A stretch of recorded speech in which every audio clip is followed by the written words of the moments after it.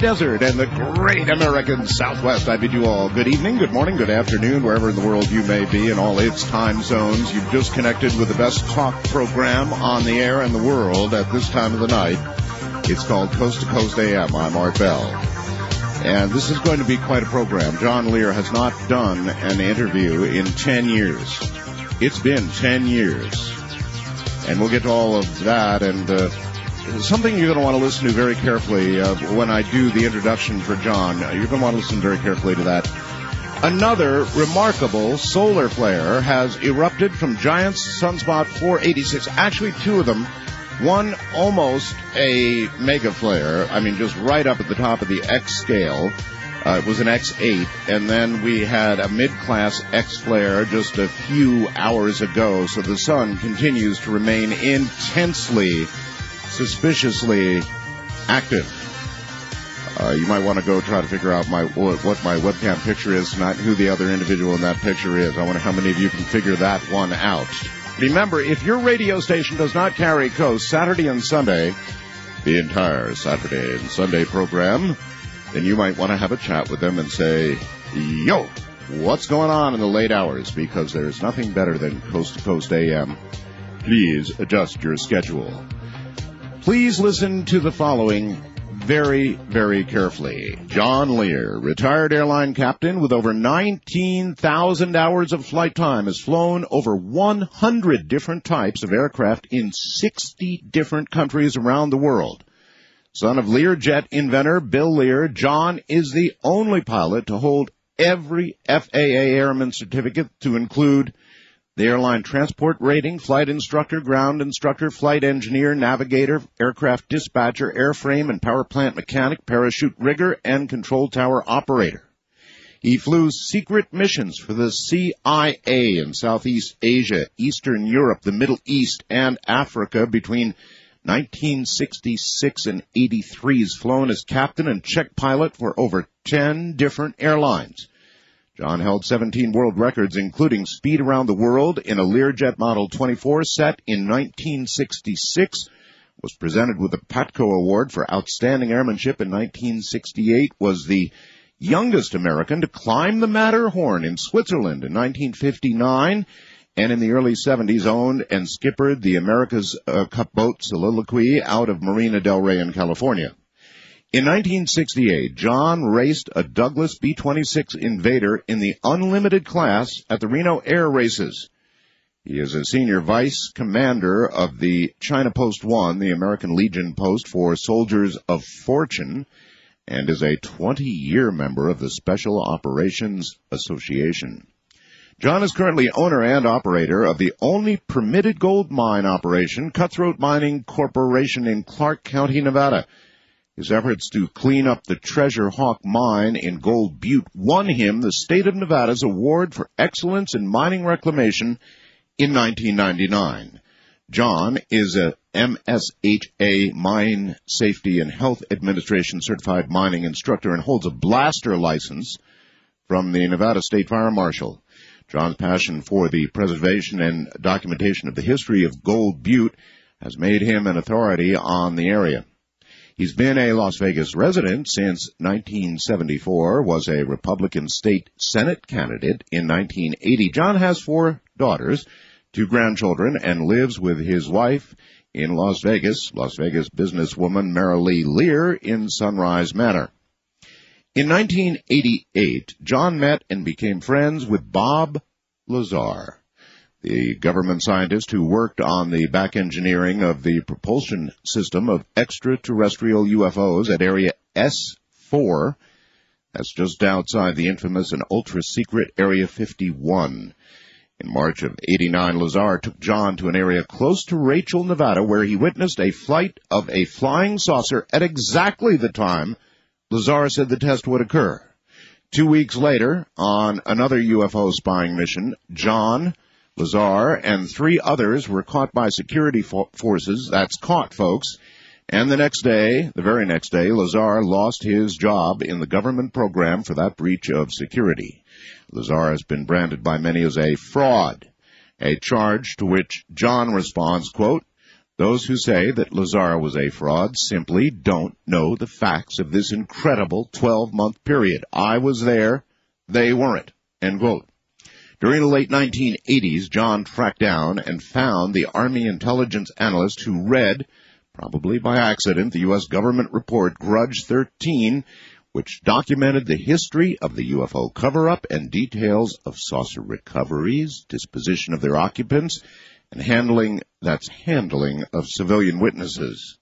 The report included clear photographs of these recovered extraterrestrial craft and the beings found inside. It further detailed how recoveries were made worldwide in specially designed transports to accommodate the craft. John spent time poking around other UFO related areas to include Dulce, Socorro, Aztec, Alamogordo, Albuquerque, Los Alamos, and Bentwaters Air Base near London. Since that time, John has learned many interesting and incredible facts about the solar system and its planets, including the existence of huge structures, arches, bridges, and domes on the moon, cities on Mars, huge extraterrestrial ships mining the rings of Saturn, the incredible but secret agenda of Apollo 17 to the huge rectangular opening in the south massif of the Taurus Littrow Highlands called Nansen. He suspects that Venus does not have the sulfuric acid atmosphere with a temperature of 800 degrees that we've all been led to believe, but instead is a planet very similar to ours with a similar but much more technologically advanced civilization. John Lear believes that the government has very good reasons for their continued cover-up, but refuses to discuss them. He also believes that the government never, ever intends to release any UFO information, and if forced to say anything, will obscure, tangle, and weave a deceptive line. Asked outright if he believes the public has a right to know these facts, John says no, they don't. Why? Because, was his admittedly evasive answer. Then why after ten years of silence is John Lear talking once again after almost 60 years the majority of our population still is not convinced that Roswell happened? I certainly do not represent a threat to this kind of security, he responds. It's, I, actually, the whole thing is, uh, absolutely fascinating. The whole John Lear story is fascinating and how it uh, intertwines with uh, my career, with the turn it took. God, I don't even know, 12, 15 years ago, something like that, uh, working at KDWN in Las Vegas and doing a uh, pretty typical talk show, uh, to be honest with you. John really was responsible for the twist, the turn in my career that uh, brought me to uh, the point I'm where I am now. Uh, in other words, uh, early interviews with John Lear were the impetus to actually change the entire the focus of the entire this entire program. That's the influence John Lear has had on me. So after 10 years of silence, in a moment, John Lear.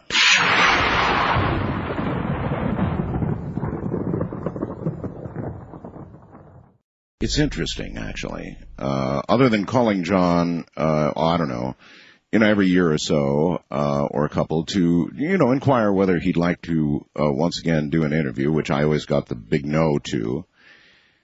Um, you know, that's about the level that we've, uh, I think, kept in touch, uh, over the years. And then the other day, uh, I haven't called him. And other than the fact that I bugged you once again, John, I really am curious after 10 years why break your silence now and welcome. Well, thank you, Art. You mean I could have said no? yeah, too, too late. yeah, you could have said no, sure. Um, I'm serious. Uh, after after ten years of not a peep, uh, why now? Well, you know, uh, the the government in charge of this cover up uh, works so well at uh, making your life miserable when you go around talking at this about this stuff that I quit, and my life quality of life improved about 200 percent. But now the cover up is so well in place that uh, they certainly would not be threatened by me going on the radio once. Yeah. and uh, and saying what I know. Yeah, well, you lost jobs because of this, Yeah, right? I lost two. I lost one uh, with an airline, and uh, one with uh, a government program that I I really wanted, and it was with Lockheed. And they went for my clearance, and they were told by the Air Force and NASA that under no circumstances Uh-huh. would John Lear ever get another clearance. Now I had Q clearance up at the test site uh, for for some work I did with um, Dynalectron, and it was just monitoring uh, below ground tests from the air with different airplanes. Uh, but uh, and that clearance is still there; it's not active, but uh, they weren't going to renew it under any circumstances, and, and they made it they made it plain. So it's cost me a little bit, but I managed to survive. Um, all right. Uh, you know, before we launch into the whole spectrum of things that we have to talk about, John, uh, when you and I were on the phone the other day, you began to tell me about 9/11, and I really would like to talk about that. Um, you have a lot. You have a perspective on the whole 9/11 thing that people should at least hear. I mean, everybody can make up their own minds about it, but you're a commercial pilot, and there's certain things you know. Uh, so, how about it?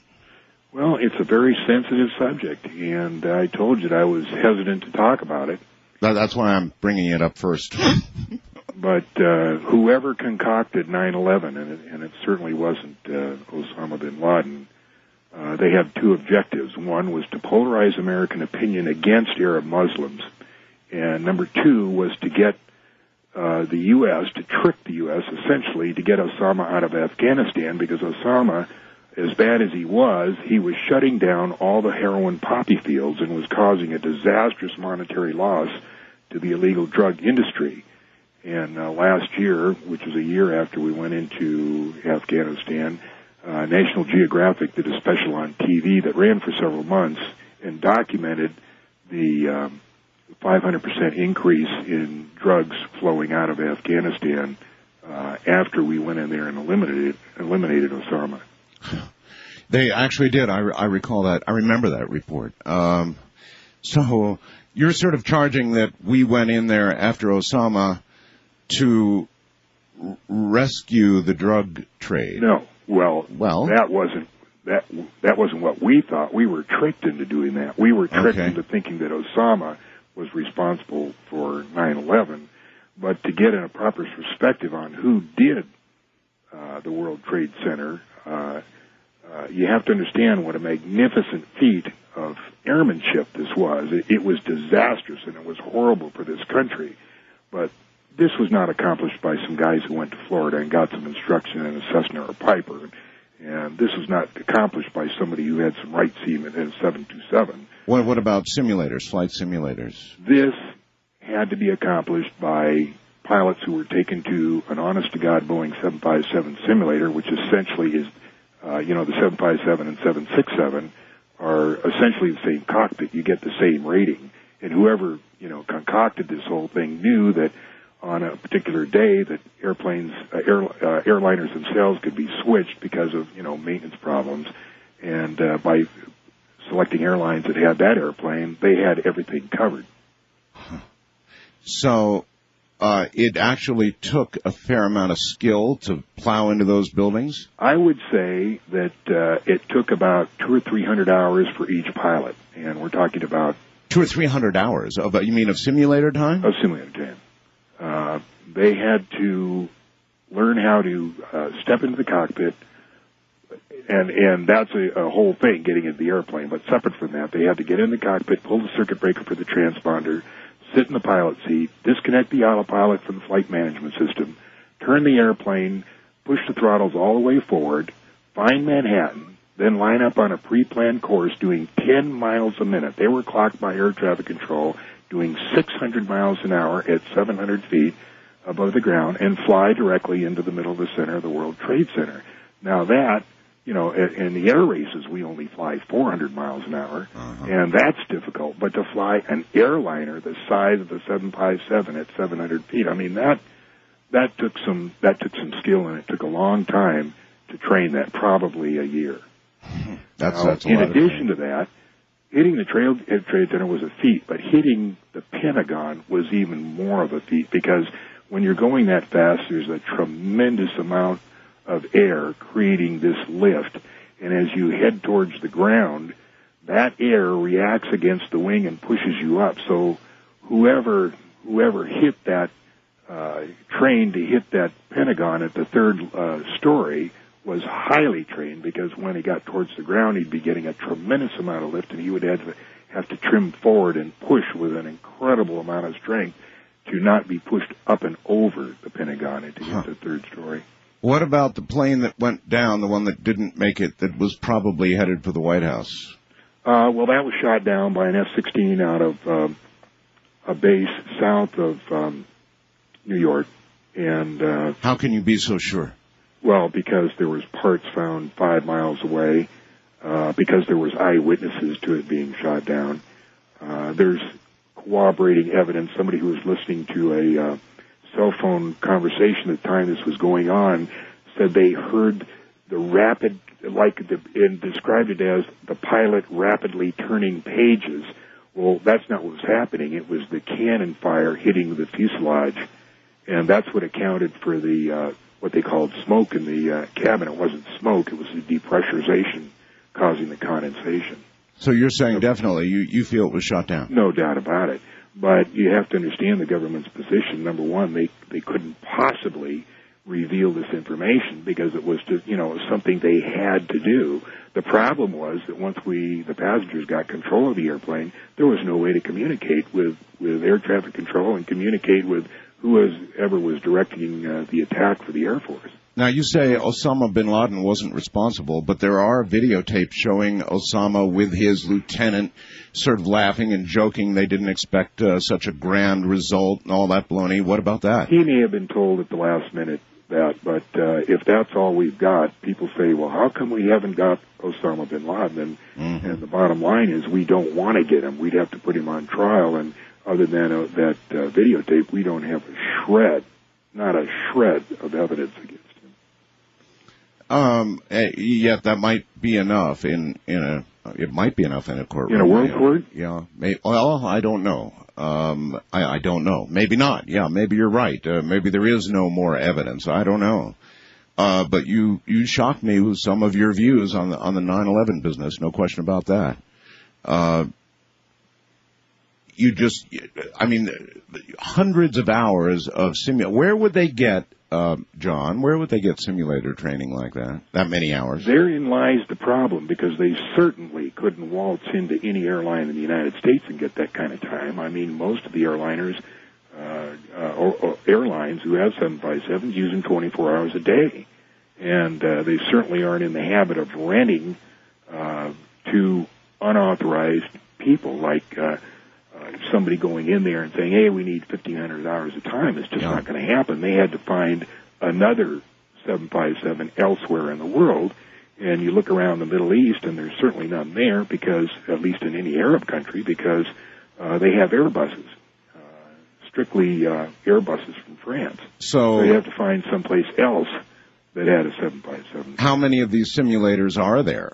Well, there's lots of them, but uh, you know, not lots of them, but you know, there's certainly around. They had to make a deal somewhere. I mean, obviously they got training uh, because they couldn't do without that kind of kind of training. But but what we've been given by the media, the mass media, you know, that they were down in Florida getting a few hours uh, uh, on lighter aircraft, that just doesn't wash at all. No possibility. Uh, you, you talk to any pilot that knows anything about this, and, and that was that was a feat of airmanship. Uh, with 19,000 hours and all the airplane, airplanes I've flown, including air races, uh, the Douglas B-26, I doubt if I could have done that the first time. Because really? What you're doing is you're going a mile every six seconds. Uh, so you had to learn where to line up, which you know which reference points to get, what you know where you had to be at a particular time to hit that building. It was just, you know, it had to be planned for a long, long time. This was this is a tremendous amount of skill, and, and it took a long time to do. Particularly, you know, they probably got somebody who didn't have, you know, thousands of hours. They probably had to, uh, you know, train him from the ground up. And in, in this case, it was relatively easy because he didn't have to learn how to take off or land. He didn't have to learn how to do a single engine approach. You didn't have to learn how to do an ILS or an NDB approach or anything like that. Just hit a building. Yeah. Just hit a building. John, hold on. We're at the bottom of the hour. We'll be right back from the high desert. This is Coast to Coast AM. Stay right where you are.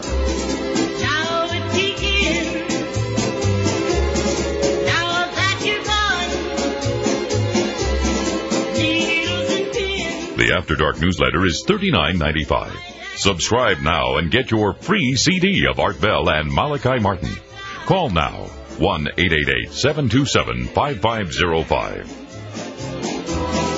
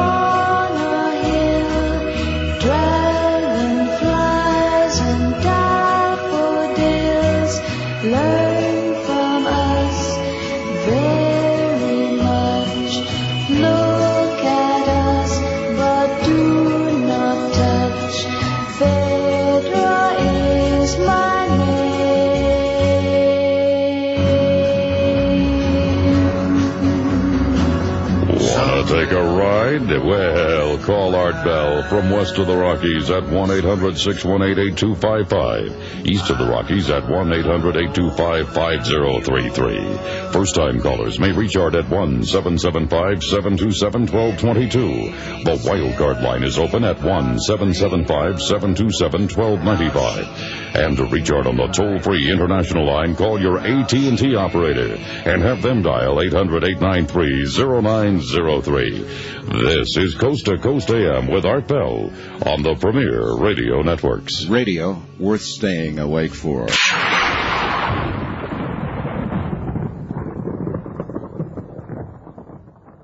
Here's something I've wanted to ask you, John, for a long time. Phil Klass is a, um, I guess a skeptic could be a kind word. Um, he's uh, perhaps more than a skeptic, and I talked to somebody who claimed they heard a quote from you uh, saying that in a conversation with uh, uh, let me redo this line here. In a conversation with someone, you you were quoted as saying that Phil Klass does what he does out of patriotism. Did did Phil Klass ever say that to you? No.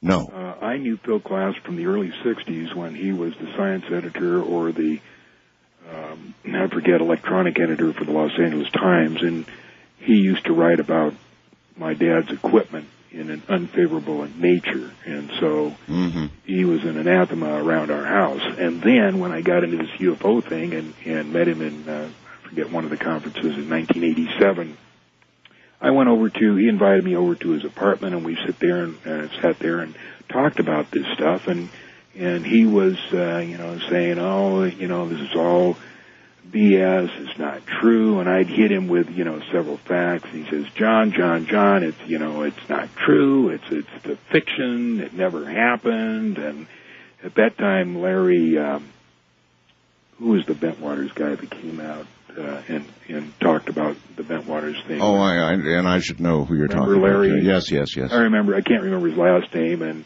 and I talked, started talking about him. He says, John, I don't want you hanging around that guy, he's a druggie. and uh, it was an interesting evening. And um, uh, but you know, I, I think that's about the last time I ever saw Phil. Is he still alive? Um, I believe uh, Phil Klass is indeed alive. Um, uh, I think he is anyway.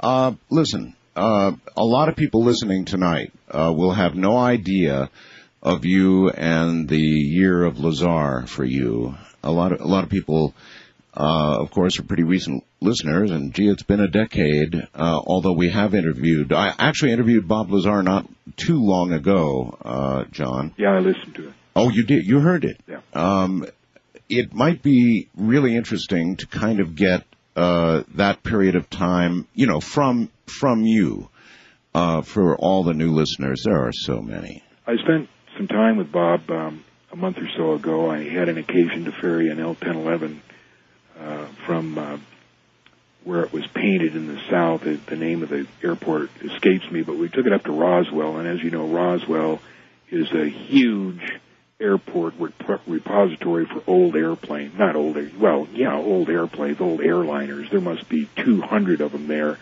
Just every kind you can imagine, L-1011s and 747s and DC-10s and DC-9s. They're really kept there uh, to avoid the erosion that would occur elsewhere, right? Just yeah, because it's well, there's desert several places. southwest. Mojave is one. Victorville is another. Mhm. Uh, Roswell. Anyway, I went to Roswell and and um, coming back, I took the bus from Roswell to Albuquerque, and uh, Bob picked me up, and I spent a few days at his house, and you know talked about old times and stuff, and it was interesting. But you know the way I got into all of this was in sometime in 1984 or 85. I picked up a book called Missing Time by Bud Hopkins. Of course. And when I read it, I thought, holy smokes, this is true. I mean, it gave me chills.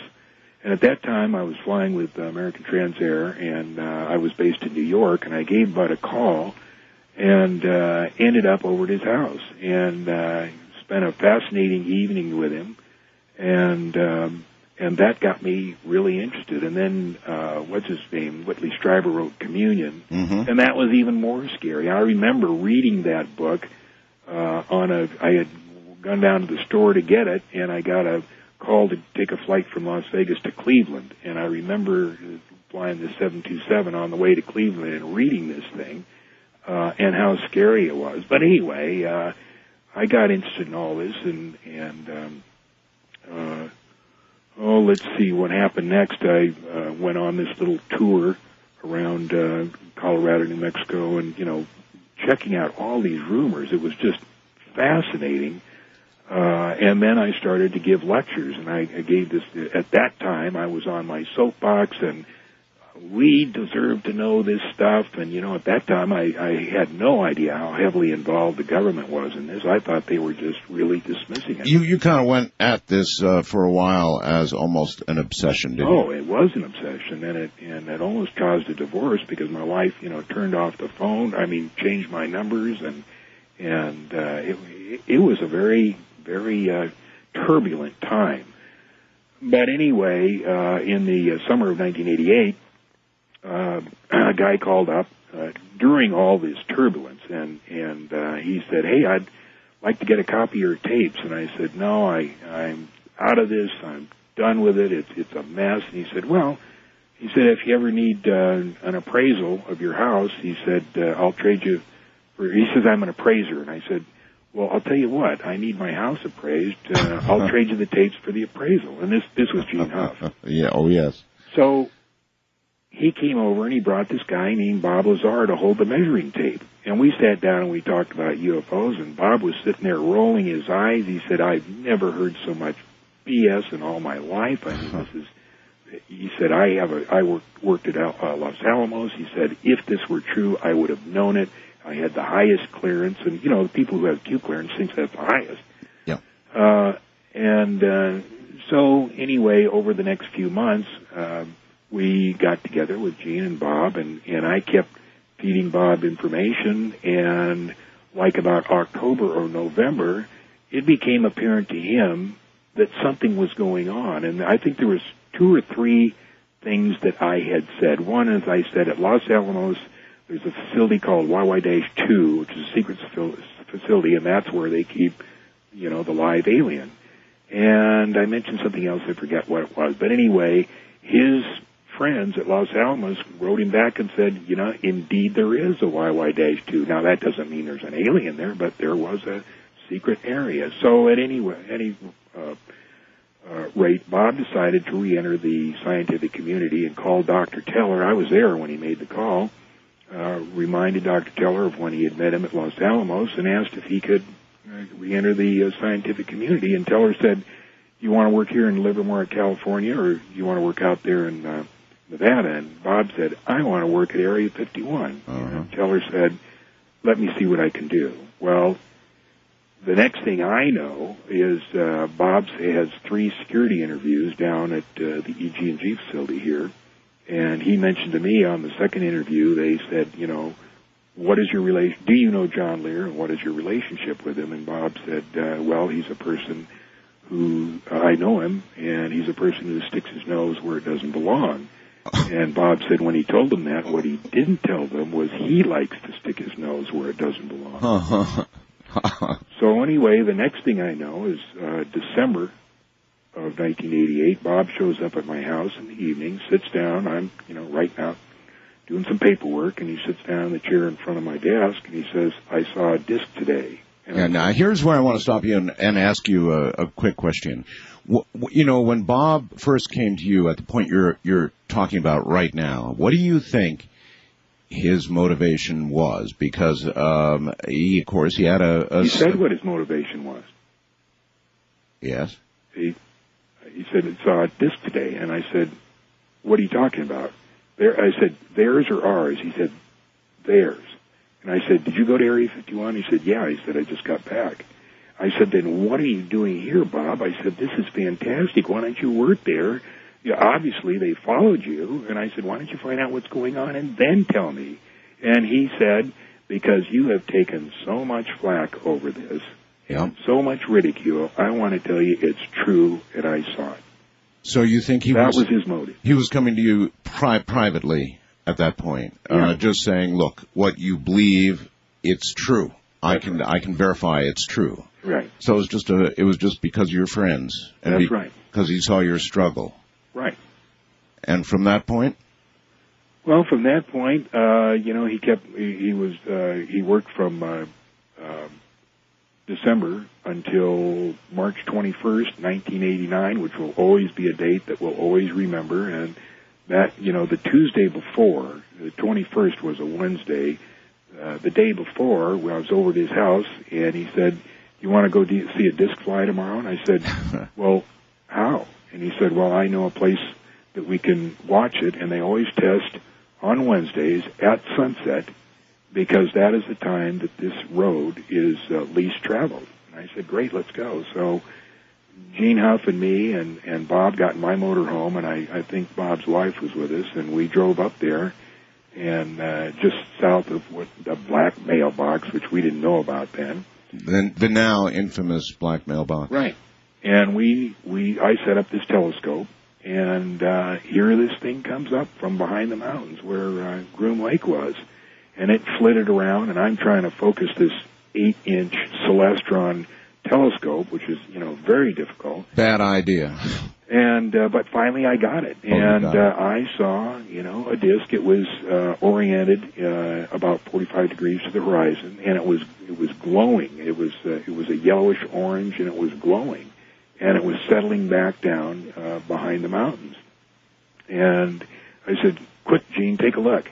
And as I stepped back from the telescope, I hooked the the tripod leg Hmm. and got it off, and and uh, uh, off the focus. And of course, there's a big laugh about that. And and uh, at one time, I had those those tapes, all those tapes, but I'm moving out of my house now, and I stored everything in the garage as far as tapes, UFO books, all documents, and everything. And somebody came and stole half of it, including all my UFO books, everything. Now I don't know who it was, and I don't expect it's you know. Uh, I think it was just accident. Somebody took that stuff. Uh-huh. That tape is gone. Well, uh, a, a telescope of that power would actually give you pretty good resolution if you really managed the getting the, and holding the focus course. Oh, it was it was perfect. I saw it. There was no doubt about it. How, it, was, it was how much could you see, John, beyond a glowing disc? Was, That was there- it. That was it. That was it. No further detail of the craft itself, or could you even estimate um, by distance the size? No. No.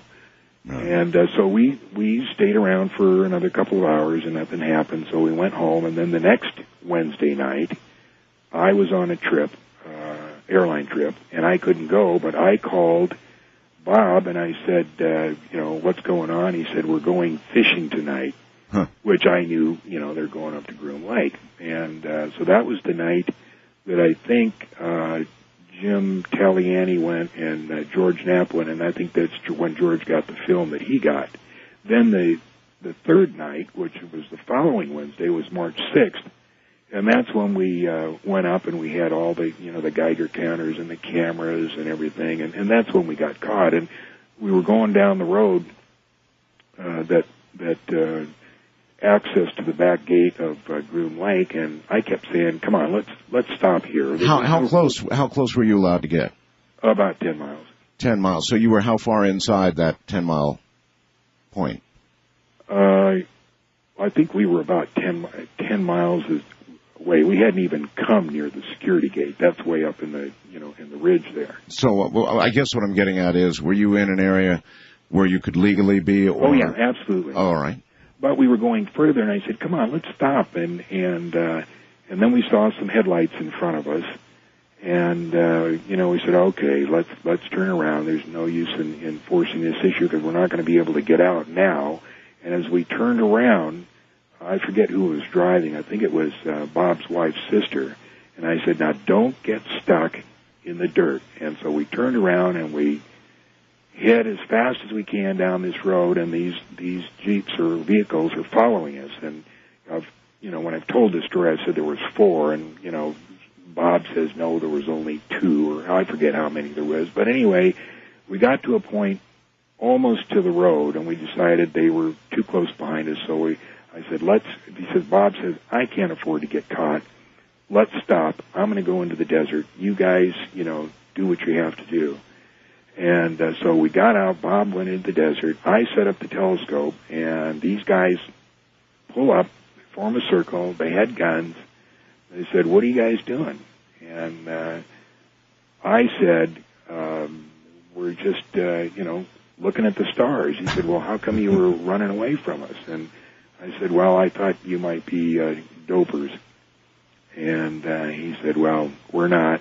And he said. Uh, let's we need to see some ID. So everybody had to, you know, give a social security number and driver's license number and we were there about a half an hour. They checked everything and uh, they said then they gave us the briefing. They said, Look, we can't kick you off of here, this is BLM land, but we can make it awful difficult for you if you stay.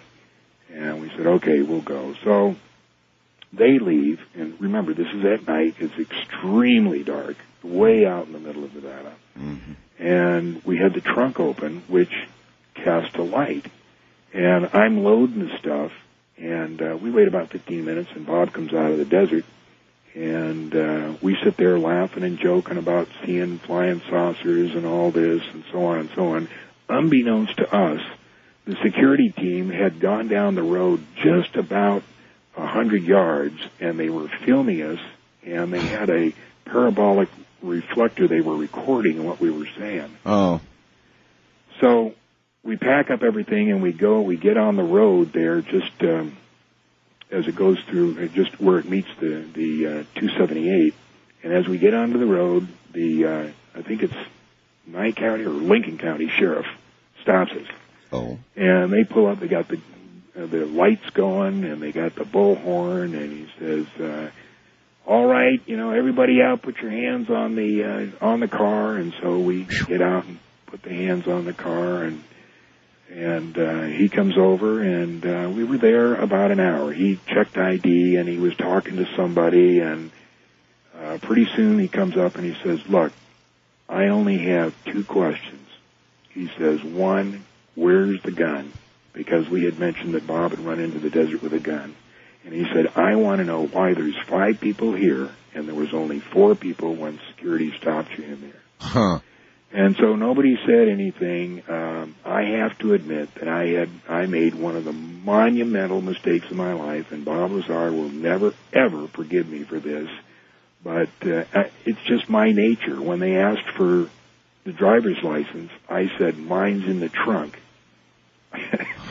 And so we had to open the trunk with Yes. all the Geiger counter and film and everything in there. And uh, anyway, uh, after about an hour of hemming and hawing and not giving him an answer to anything, he said, uh, and, and I'll remember this officer's name. Uh, it, it's a French name, and he, he still works up there for Lincoln County. And I see him occasionally from time to time. He said, look, said, I don't know why I've been told to do this, but I've been told to let you guys go. So pack up Uh-huh. your stuff and get out of here. So we packed up our stuff and, and left. And uh, the next morning, Bob got a call from his boss. You, said, you, but if I can stop you, John, do you think the reason you were let go is because of the Lazar name? Right. Yeah, yeah, okay. And they didn't want any more. So uh, publicity. So the next morning, Bob gets a call from his boss and uh, says, "Bob, don't go to work. I'm going to pick you up." And he picked him up, drove him up to um, Indian Springs, which is the center for all security for the test site. And they pulled him out of a car with a gun in his ear, and they said, "Bob, when we gave you this security clearance." It didn't mean you were supposed to tell all your friends about the flying saucers. Uh, do you want to work here or not? And he was non-committal. He came home and, you know, told us about, you know, what happened. And I said, he going back to work? And he said, probably not.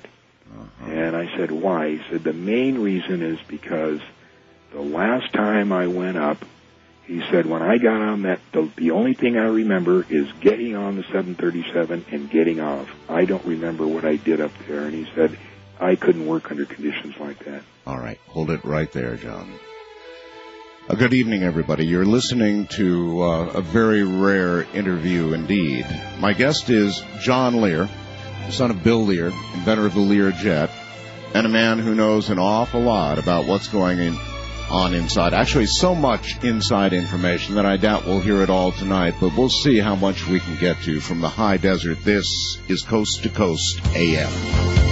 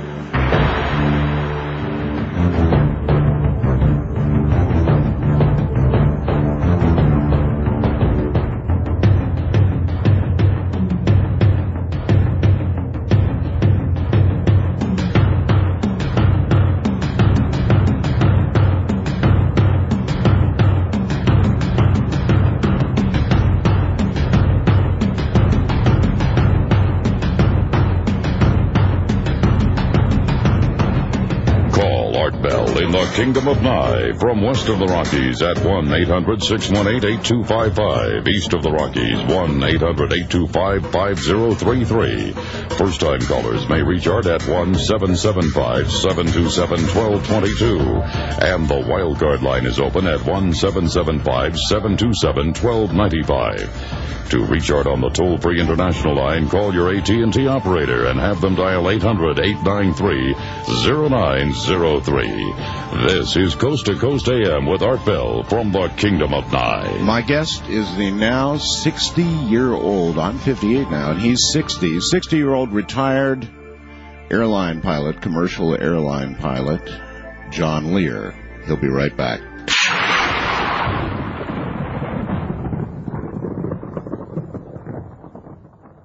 It it's been so long since I interviewed John that the last time we did it, we almost didn't have commercials. okay, John, we kind of left off where Bob essentially said, nah, he didn't think he'd go back to work there. yeah, and his reason was is because uh, the last time he went, he could remember getting on the 737 and getting off, but he couldn't remember what he did there.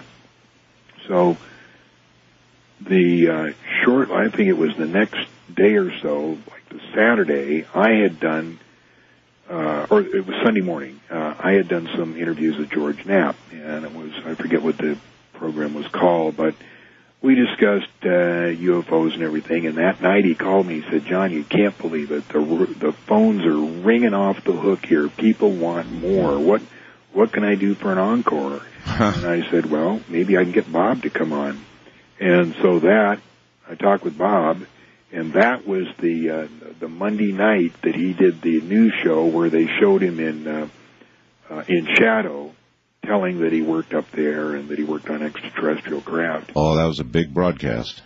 And then uh, a few days later, uh, George Knapp and Bob Stoldal, who was who headed up uh, Channel 8, came up, and uh, George said, uh, "I have Bob here. We want to talk to." You." Uh, uh, I have Bob Stoldal here. We want to talk to Lazar, and uh, we want to see if he's telling the truth. And I want to go ahead with a special he said I need to get Bob Stoldal's permission. So we sat here for an hour or two, and they grilled Bob this way and that, and finally said uh, Bob Stoldal said, "Go ahead, do it." And that's when Hmm. George went with the um, with his the uh, six I think it's six part documentary on on Lazar.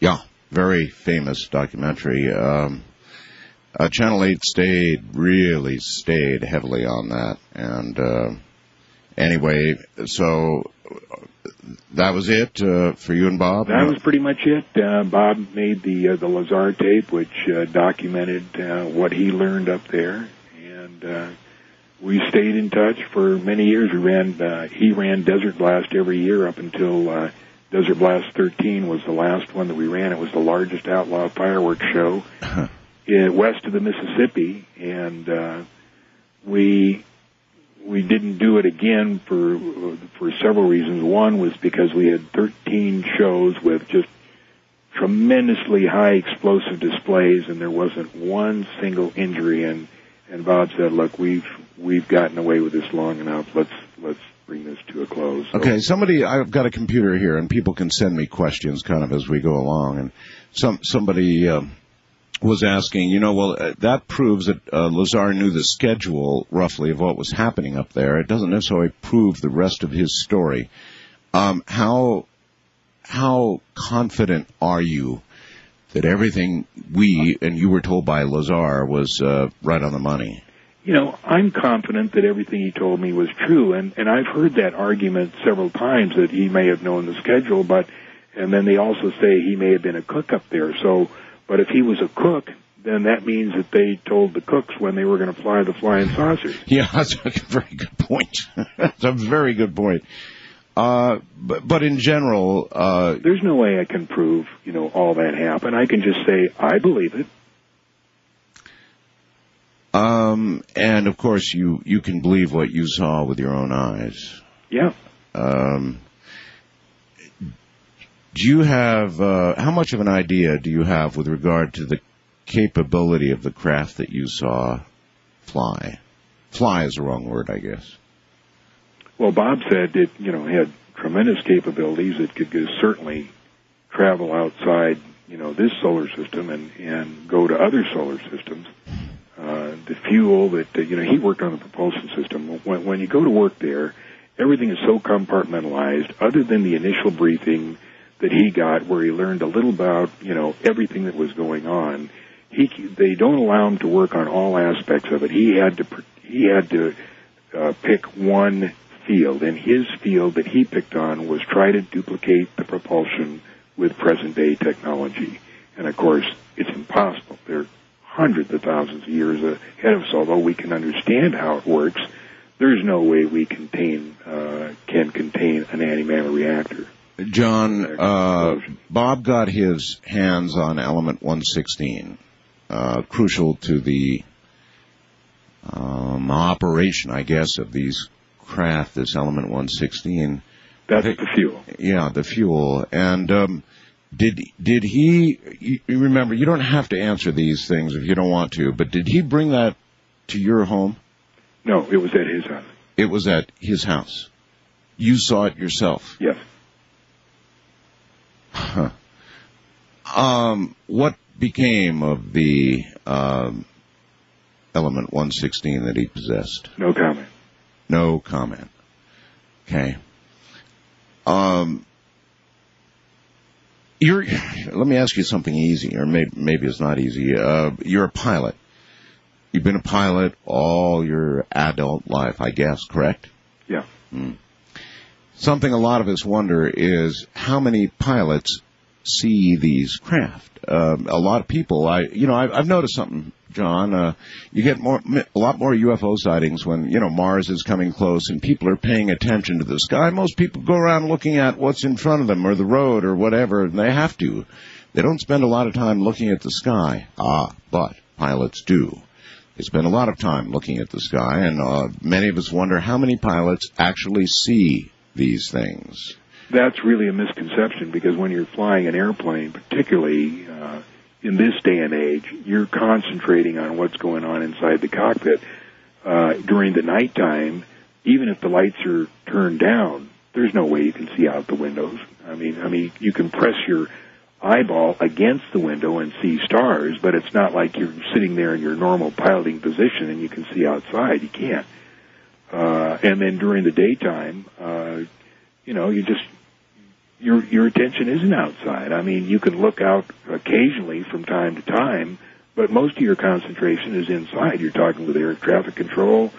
Uh, you're monitoring, uh, you know, the the uh, instruments and and paying attention to flying. You don't So have then- time then- but, but in answer to your questions, how many people see? Not many. I've heard some stories of guys see uh, stuff outside, and and of course, I may have been a little different. I spent a lot more time looking outside. Um, I remember one of the last flights that I made with uh, one of the cargo airlines. Uh, we're very late at night, and I'm looking out, and I see this thing come streaking across the sky, and then go straight up. And I thought, no, gosh, I wish I'd have, the crew had seen that. And uh, so then I didn't say anything, and then it happened again. And I thought, well, maybe it'll happen again. So I said, hey, you guys, look, look at this. And it happened three more times. And it was, you know, I don't know what it was, but it came streaking about halfway across the horizon directly over the airplane and then shot straight up. Huh. I, uh, okay. Um, A million things I want to ask you about. Um, for example, uh, Richard C. Hoagland, um, early in the early years, uh, had some shocking stuff he said about things that are on our moon. Just incredible things, tall spires and structures and buildings and things and just incredible stuff and, and people laugh. Uh, they ought not be laughing at that, huh? No, Richard C. Hoagland inspired me to to look into that, and uh, I ordered some prints from NASA. And of course, when you order pictures of the moon from NASA, it doesn't come from NASA. There's three separate uh, places where they come from, and uh, to go back to the middle 60s when NASA really realized what was going on on on the moon, they had the Lunar Orbiter series. There was five uh, camera ships they sent to the moon to make fabulous detailed photographs of the moon. And when these came back, I mean, they were chock full of all these buildings and arches and and uh, domes and and buildings. And you know, there was a, a place at NASA where people spent their entire careers doing nothing but airbrushing this stuff out, and then they'd take a picture of that picture, and that would become the public information. That would become the picture that was sent out to the public. But every once in a while, you can order a picture, and they forgot to airbrush, or they didn't know it. And one thing they could have never imagined back in the early 60s was that in the 90s, that computer technology would make it possible that we could scan a photograph like that and, you know, enlarge it and find the airbrush marks Yes. uh, and find stuff that they didn't see, you know, looking at the at the print. I mean, we can go right down and see, you know, little, you know, tracks and and uh, all kinds of stuff. So you think they're just erasing this stuff like, or have erased this stuff like crazy Oh, absolutely. To, they, to know, protect just, us uh, from the truth? they they just have a hard time keeping up with uh you know keeping this information from the public i mean you know every time we send something to mars something happens it doesn't work it Oh, doesn't transmit everything we sent clementine to the moon That's took right. all these fabulous pictures then spun out of control you know i think the guys at nasa say you know how many times can we do this you think the public's going to fall for this every single time and and i imagine some guy says well they have so far let's keep it up Well, then you've been following uh, Richard's career to some degree. Absolutely. What Ah. a what a guy. Uh, All right. Well, like a year ago, uh, John, uh, he suddenly came up with these photographs of Mars. And, you know, I've done quite a bit of flying, not as a, I'm certainly not a pilot, but, um, you know, when you look at these photographs, these more recent ones of Mars, even I sat here and I went, oh my God, it's like I'm looking down at a damn city, like a city. It just, it looks like a city from the air. And buildings everywhere, square shapes that don't make any sense on Mars uh, from pictures that were imaged just below the surface. I don't know if you've seen those or not. Have you? uh, which ones are we talking about? Um, they're fairly within the year. Recent pictures that, that were imaged uh, kind of just below the ground. You know, with some of the ground. yeah, yeah, sure, yeah, yeah. My God, well, there's they ones that are like- above ground that uh, that are equally fascinating. They And, are. You know, we run into the same thing with Richard as we run in with UFO people. As everyone believes their own research, but when they hear another story, oh, that guy's full of BS. And uh, so you kind of have to do your your own as you as you research this. Now, the last thing I came across is have you seen the city of Tithonia? Yes. Okay, that's fascinating. I called up the guy at Project Red Star and I said, send me that stuff. And what's so fascinating about it is, I don't know whether you can do it today, but you used to be able to go to Balanced Space Systems, download the, the film yourself and look at it yourself. You didn't have to go and buy a CD. Yeah, it's incredible stuff. I mean, it, it, from the air, it, to me, uh, it looks very city-like, uh, John. That would imply a, a gigantic civilization that at least at once, at one time, you know, was on was on Mars without question. Yeah, now when uh, Bob was working at the test site, one of the things he saw was uh, close-up views of Cydonia. They were taken at very close range. He said that uh, the, the pyramids at Cydonia, he could see doors and windows, and and you know there was no doubt that it was you know it was a place where somebody lived. And so he and I had occasion to drive down to L.A. to pick up his uh, jet car. And when we were down there, we drove over to JPL, and we went to see the guy who was head of um, the. Uh, is was it Voyager that went? Uh, lost my memory. Who? What were the? What was the? Was it Voyager two that went to Mars? Well, it was Voyager. It was a Voyager. Voyager. sure. Okay. So we went in to see this guy who was head of Voyager Imaging, and we said, you know, Bob has been up to, um, you know, Area 51 and and seen these close-up photos, but you know, in the photos that are released to the public, um, we don't see this particular photo. We said this photo that he saw was taken at a very low altitude uh, and a, a, uh, a specific angle. We said, did was Voyager tasked to ever go lower and take pictures? And the guy said, yes. As a matter of fact, we did task it to go lower, but we didn't make any pictures. now, here's the beauty of this thing, and this is how cover-up works. He knew that it went lower, but they he didn't have a high enough clearance, even though he was head of imaging, that that picture was taken. Uh, um, John, why do you think uh, that all of this is being withheld from us? The, the the whole thing. Why? Why is Why are we being protected from this information? I mean, on the one hand, you you know, people call and say, "Oh, look, I could take it." You know, the, the fact that Brookings was there and said people would be disturbed and all the rest of it, baloney. I could, I want to know. So the question is, why are we not being allowed to know? Why why keep it all secret?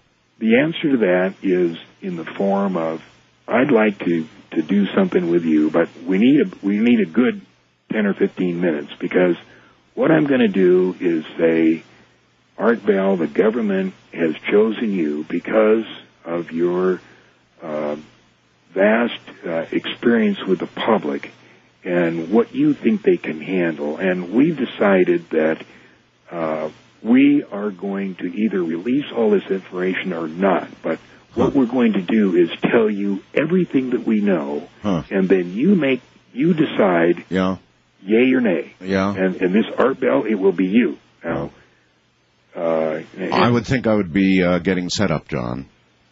Really. Big time. Set up Okay, time. when, yeah. when we have 10 minutes of clear time, I've written the briefing that you're going to get from the government, and then after that briefing, Mm-hmm. it comes with slides and videos. Of course, you won't be able to see them, but I'll talk you through them. And then at the end, I'll say, Art, yay or nay. so you're going to give me a briefing, huh? Right. Okay, we'll do that in a few minutes. Uh, uh, Apollo 17.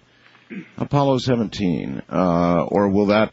Can, you give us a brief? I, I mean, was there some mission with regard to Apollo 17 not fully public? Yes, uh, Apollo 17 uh, landed uh, in the Taurus Littrow area, which is extremely dangerous. There's uh, mountain peaks that go between 8 and 10,000 feet around the area. But what they were tasked to do on the second day was go to Nansen. And Nansen uh, is a large, uh, obviously constructed opening inside the South Massif. And they wanted to take a look at it.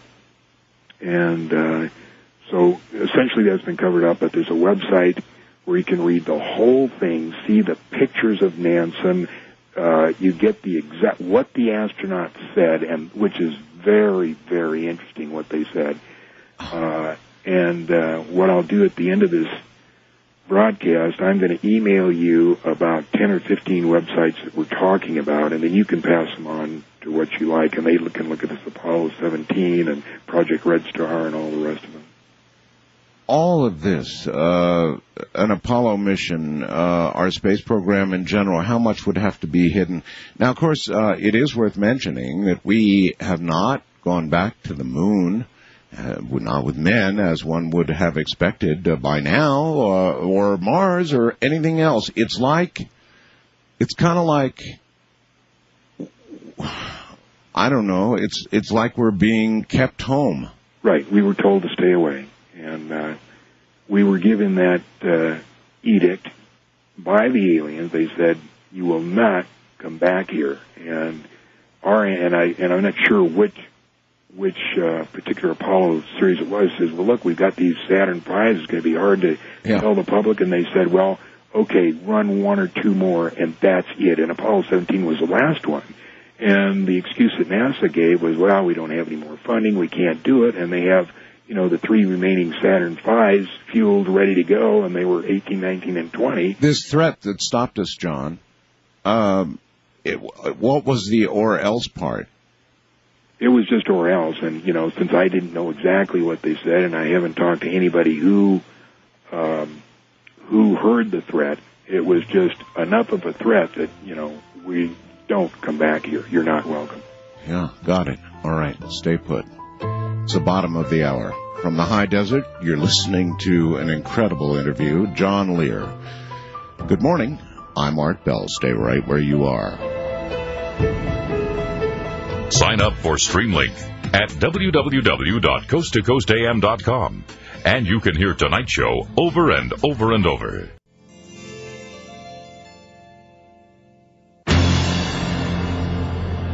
it sight, sound, smell or touch, there's something inside that we need so much. The sight of a touch or the scent of a sound or the strength of an oak roots deep in the ground. The wonder of flowers to be covered and then to burst up through tarmac to the sun again. Or to fly to the sun without burning a wing. To lie in a meadow and hear the grass sing. To have all these things in our memories stored and to use them to help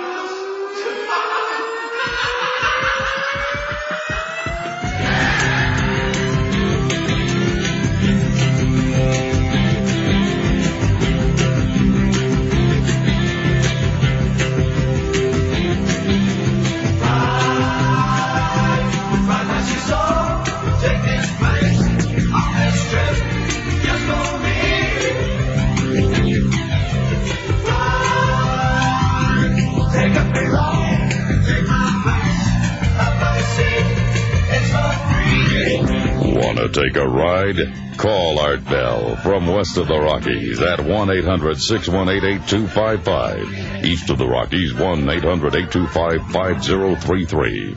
First time callers may reach Art at 1-775-727-1222. The wildcard line is open at 1-775-727-1295. And to call Art on the toll-free international line, call your AT&T operator and have them dial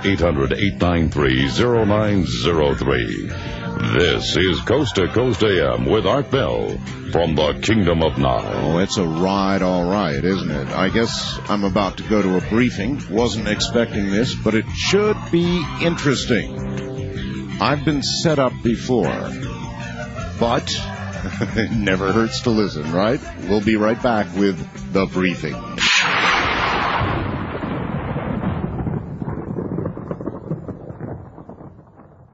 You know, it's it's kind of interesting. Over the years of doing this program, so many years now, I've often wondered why I've been allowed to do it at all.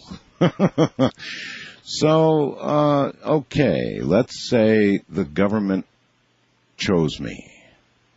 Uh, they were going to use me as an outlet to release this information. Let's just say they did that and they took me to a briefing. Then what, John? Okay, we whisk you to, or they whisk you to Washington D.C. You get limoed to this building, beautiful building. You go up into this room.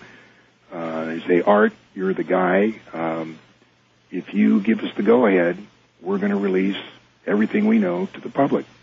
And if you decide to go ahead, all major networks will be provided with information on all aspects of the cover-up. No type of information will be withheld because of the deal for immunity for all participants of the cover-up provides that nothing, no artifact, no piece of information be withheld. So here's what happened, Art. Uh, and of course, this will call, uh, uh, we'll use some videos and stills. Our first UFO recoveries were in the late 30s. We made a couple in the beginning of the 40s, and then came Roswell, which the public found out about.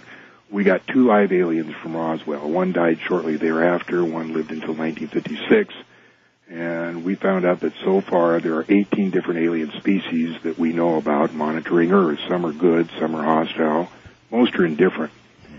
Uh, we found out that we are the experiment or product, if you will, of an alien race who we never met and really don't know who they are. All we know is that the Greys are cybernetic organisms, glorified robots, if you will, who work here at the behest of their employers, monitoring us through abductions. Uh, we were never able to find out what the experiment is all about, except that we have been externally corrected about 65 times, and they, the aliens, refer to us as containers. There has been speculation that the souls our bodies contains is the reason for the experiment, but nothing has been proven or determined. Since 1938, we have lost over 200 aircraft to UFO hostilities and thousands of soldiers in all kinds of different kinds of action with aliens. Since that time, several hundred thousand civilians have disappeared with no trace. several thousand were eliminated by us because of their chance encounters with aliens, which we could ill afford to have publicized.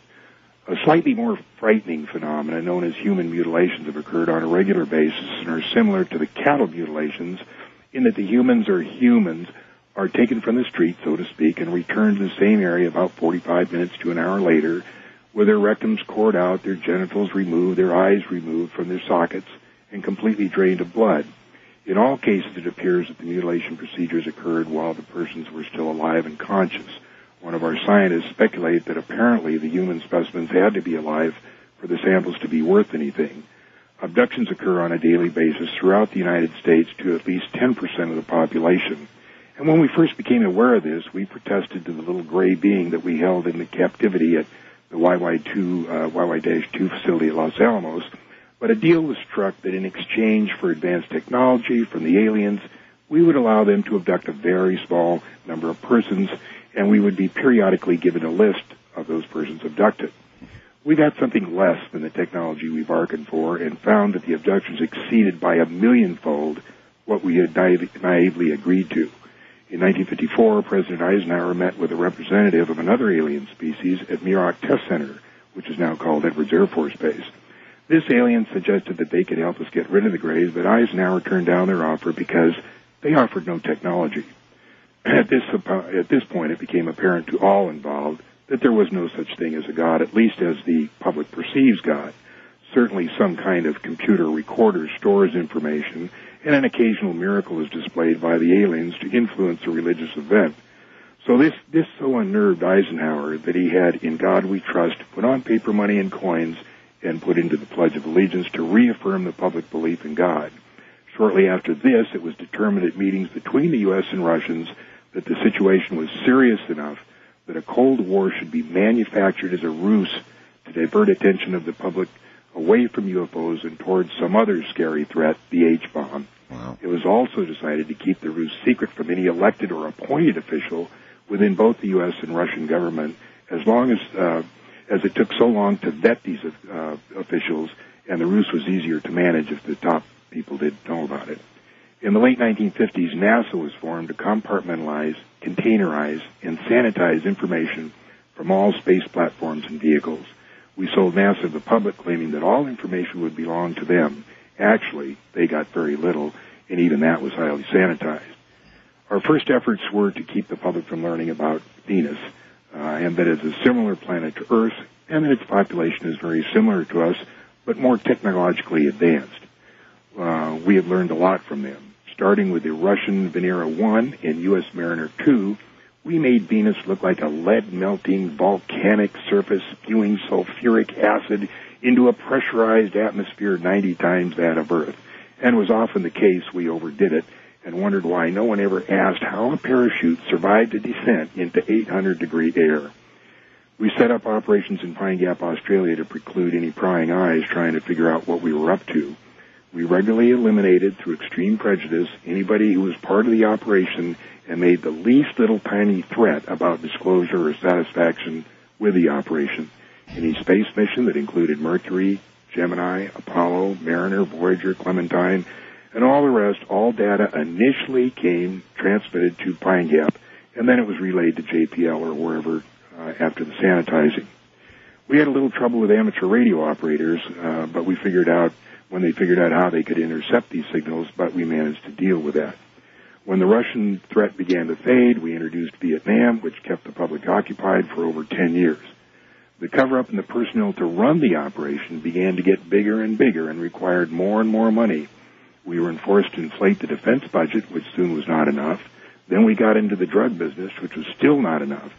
We were the ones that looted the savings and loan industry and Wall Street to boot. It is so out of control now, most people want immunity and want out.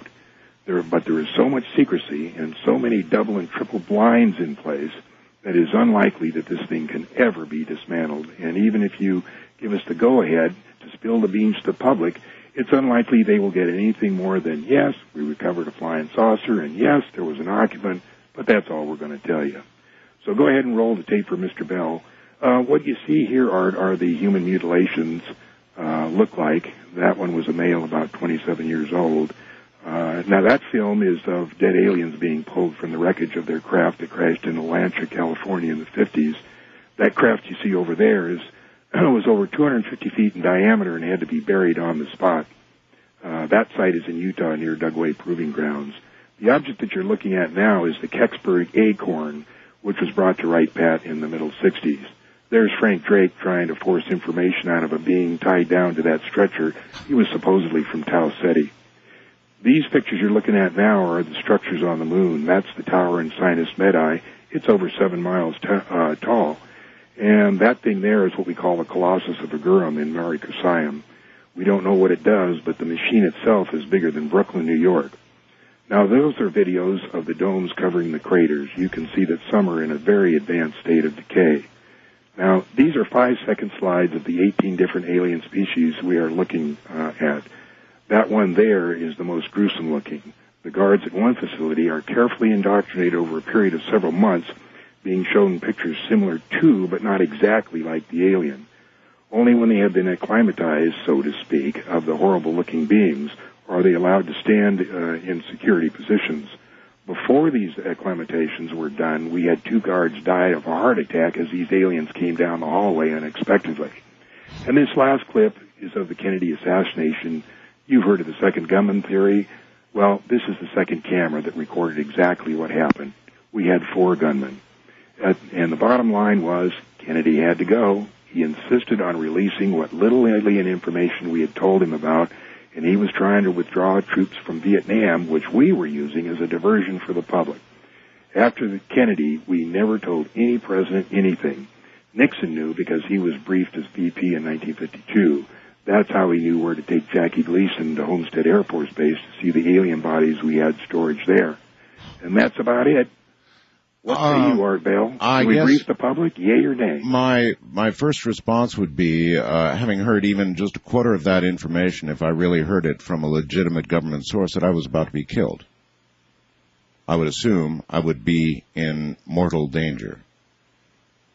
Uh, I mean, it's just uh, any any portion uh, of that information uh, would get a person killed if they if they knew it. Much less, uh, uh, I, it's just ludicrous, John. I would never be put in such a situation. I would never be at such a briefing because such a briefing is never and will never be made ever. Okay, ever. well, well, Art. Here's the deal: is people want to know. I they say I can take it. Tell me. I mean, the public can take it. well, they they can't. I I agree Okay, with. now wait a minute. Are you saying let's release it or not?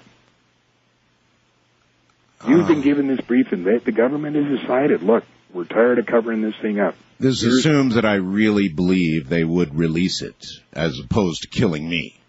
No, Right. No, they wouldn't kill you if they were giving you a briefing.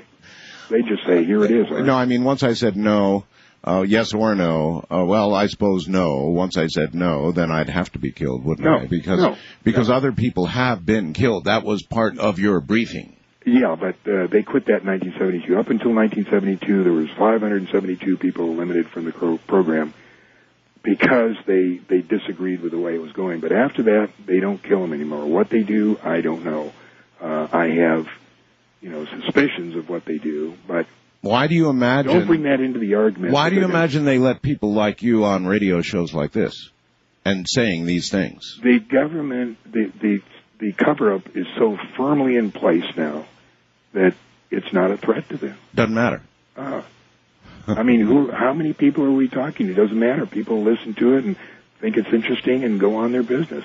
Well, that's That true. my point is that if you knew the whole story, you wouldn't be pushing for disclosure. No, I wouldn't. I, uh, of course, I would not. I, I believe that Brookings was accurate. In fact, I believe e- even more than that. I've spent all these years getting emails from talking to people in the Bible Belt.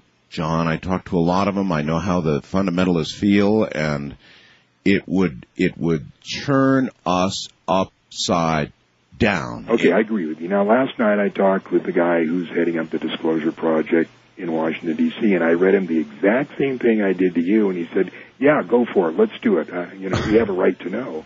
And I'm wondering, Yeah. you know, how could you possibly think like that? Um, yeah, how how can he? Um, I, I've I've asked the same questions. Uh, really, I have, and you get a, a wonderful speech in return that also makes sense. You know, and you get the patriotic angle. You get the you know, we're we're part of all that's happening, and we really do have a right to know about these profound issues. They're so profound that we have a right to know, and the argument sounds good.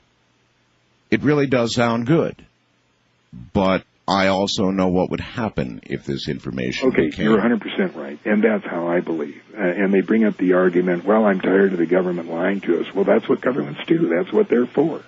I mean, they lied to us continually, but on this particular issue, they're correct. Uh, you you pretty firmly believe that what you just laid out there, as a, it was a litany of horrors, to be sure, uh, is pretty much accurate, John. You really Well, I think? didn't put all the bad stuff in there, but yeah, no, um, that, that's essentially what it is. I thought you were going over the top a little with the human mutilations. And Why? It's a fact. I mean, it happened. I'm I hear these dark, quiet, don't quote me, but there have been these things going on type conversations. People that I deal with who really do know what is going on have talked um, very quietly, John, about human mutilations. It's just kind of at, almost at the whisper in your ear stage regarding human mutilations. Yeah. Yeah. And the other thing is, you know, there's no way that the government, suppose they were trying to be forced to to make a release, is to say, you know, okay, yeah, we we did we do have something from Roswell, and there was an alien, but that's all we're going to tell you. I call it the Pandora's box syndrome. You can't open it a little bit. A little, yeah, yeah. And that's why the government is so is ready to risk, I mean, supreme ridicule. You know, even though one, you know, lands in the middle of the city, uh, no, it doesn't exist because they can't open the box even a little bit. Here's something I'm curious about, John. Uh, you saw the recent headlines about the Chinese. How are we going to stop the Chinese from going to the moon? I don't know. yeah, I don't know either. Uh, we might have over, you know, a lot of control over a great deal of the uh, the rest of the world, but I'm fairly certain we don't have much control over the Chinese. And boy, they're just really getting into space. Uh, they just announced they're going to be sending a probe to the moon. Now, I wonder how cooperative the Chinese are, say, versus the Russians. Boy, I'm glad that's not my problem. Uh, because at some point, uh, the Chinese are going to be looking at things that, uh, that that I guess we don't want them looking at, um, or, or or do you suppose that at the very very highest, uh, in other words, you've got to imagine. I, I guess you firmly believe, don't you, John, that there is a fully operational. What kind of government, John? How does it work? Do you suppose any any idea how our elected in quotes government uh, in effect takes its instruction from I don't know, but my favorite story about the secret government is you remember Dick D'Amato? Do you remember that name? Yes. Okay, Dick was the uh, aide, arrogant as he was, to I think uh, Senator Byrd, and Dick had every compartmentalized clearance you could get, and he, you know, he was, you know, uh, the point man for the Senate Armed Services Committee, and he's the one that doled out the money to the guys at Groom Lake, and and he thought he knew everything. And then all of a sudden, this stuff comes on TV. Lazar works on extraterrestrial craft and stuff going on at Tonopah, and, Yep. and so he comes to Las Vegas and he sits down and talks with George Knapp and and uh, John Andrews and and a few of us. I wasn't at the meeting, and makes the statement. Look, there better not ever, there better not be anything going on at Tonopah right now because that place, as far as we are concerned, is closed. There's nothing in the budget.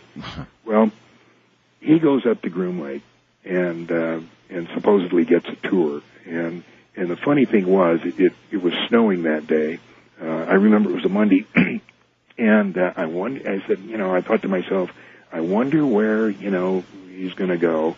And so, you know, he came back, and the, the question was, well, what'd you see? He said, anything I want. Well, where'd you go? Anywhere I, you know, I wanted. Really? Well, the thing is, you know, how's he going to know where Papoose Lake is, and how's he going to find this? I mean, he wouldn't know Papoose Lake from Lake Tahoe. But the funny thing is, here, you know, he knew that Tonopah, Tonopah Test Range was supposed to be closed, and here my friends at American Transair were flying in six times a day. So that night I called up uh, one of the captains. I said, hey, what's the deal? Did you guys make any flights today? And they said, no, Air Force called this morning and shut everything down. And that was because, just in case D'Amato wanted to go to test Tonopah, he'd find nothing there. Wow, really? So here's a guy that had all the clearances, everything, and you know they weren't good. The guys that uh, you know run this thing weren't going to give him the time of day. Hold it, hold it right there. We'll be right back.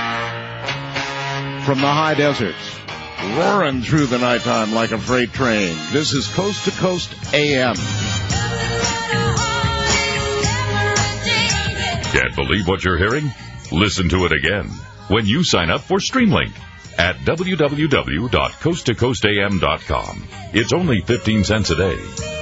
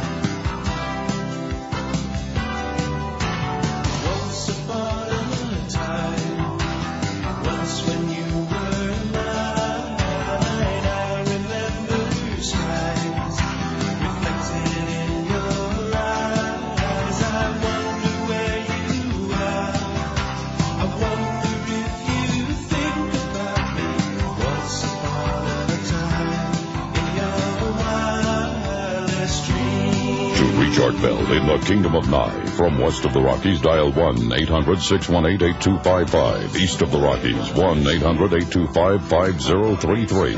First-time callers may reach Art at 1-775-727-1222 or use the wildcard line at 1-775-727-1295. To reach Art on the toll-free international line, call your AT&T operator and have them dial 800-893-0903.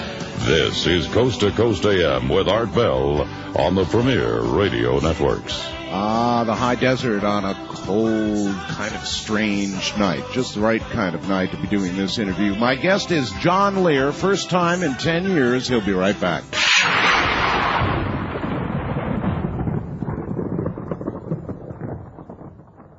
Let me read a little of what I read earlier. During the 1980s, John tracked down and found the Army intelligence analyst who read and, uh, as in fact says probably by accident, the U.S. government report Grudge 13, which documented the history of the UFO cover-up in details. You know, the whole thing, the, uh, the, the saucers, uh, the occupants, all of it. John, um, that was during a time that you were sort of consumed by all of this. How did you come to track th- this man down? I read the report that he wrote. His name was Bill English, and it was it was so real uh, what he wrote about uh, exactly how he opened the document, how it was given to him, what was in it, and so thorough that I wanted to meet the guy. So there was no way to find him. It turns out that I found out his father was a state senator in Arizona. I wrote to his father, and uh, several times, never heard any answer. Then one night I get a call, and it says, and the guy says, uh, "My understanding is you want to meet with Bill English. Can I ask you why?" And I told him why, Hmm. and he said, uh, "Let me call you later." So I got a call later, and the guy says, "If you want to meet Bill English, you have to go to such and such airport at such and such time." It was in West Virginia, I think, uh, and uh, sit in such and such bench uh, and such such such state. So I arranged to be there, Oh, brother. and I sat in his bench. And I got to tell you, you know, there were some, there were some, you know, it was a little teeny airport, and here's some guys in, you know, three-piece suits walking around. Now, what they were there for, I don't know. but a guy came over and sat on the other end of the bench. Uh, a great big guy in a, you know, in Western clothing and, and a big jacket. It was cold outside. And he looked over and said, uh, would you like to have a cup of coffee? And I said, sure. Uh-huh. So we went out, got into his car, and drove to a place, and he introduced himself as Bill English. And uh, end up, I stayed. He he lived in a trailer on a pig farm, and he was essentially in hiding. He knew he had done, you know, something that the government didn't want, and I interviewed him for the those two days and satisfied myself that indeed he had, you know, How, how did he come upon this report? he was in a um, um, let's see if I can you know I have the I have the report here. He was in uh, uh, assigned to the RAF listening post north of London Uh-huh. uh, as an information analyst, and in the course of his duties, he was asked to prepare an analysis of the elusive grudge of the elusive Grudge 13 report. Um, he says he doesn't know why he was given it. Uh, he said uh, that afterwards he was uh, discharged and sent to the United States, and um, there's no reason why he was given this sensitive report. Now, a little background on Grudge. After Blue Book, uh, they after Blue Book was closed, they started the Grudge reports, and Grudge uh, there was 14 reports, number one through 12, and number 14 was re- released to the public, and they were essentially, you know, UFO reports and and uh, you know nothing very interesting. And everybody wondered where Grudge 13 went, and the government's position was it was an unlucky number, and no Grudge report was assigned that number. But in fact, the real information was in Grudge 13. Uh, I don't have any reason as to why he was given that report, but he reported thoroughly on it, uh, wrote a thing that I read, and uh, then I went and interviewed him, and it was very interesting, a very interesting time.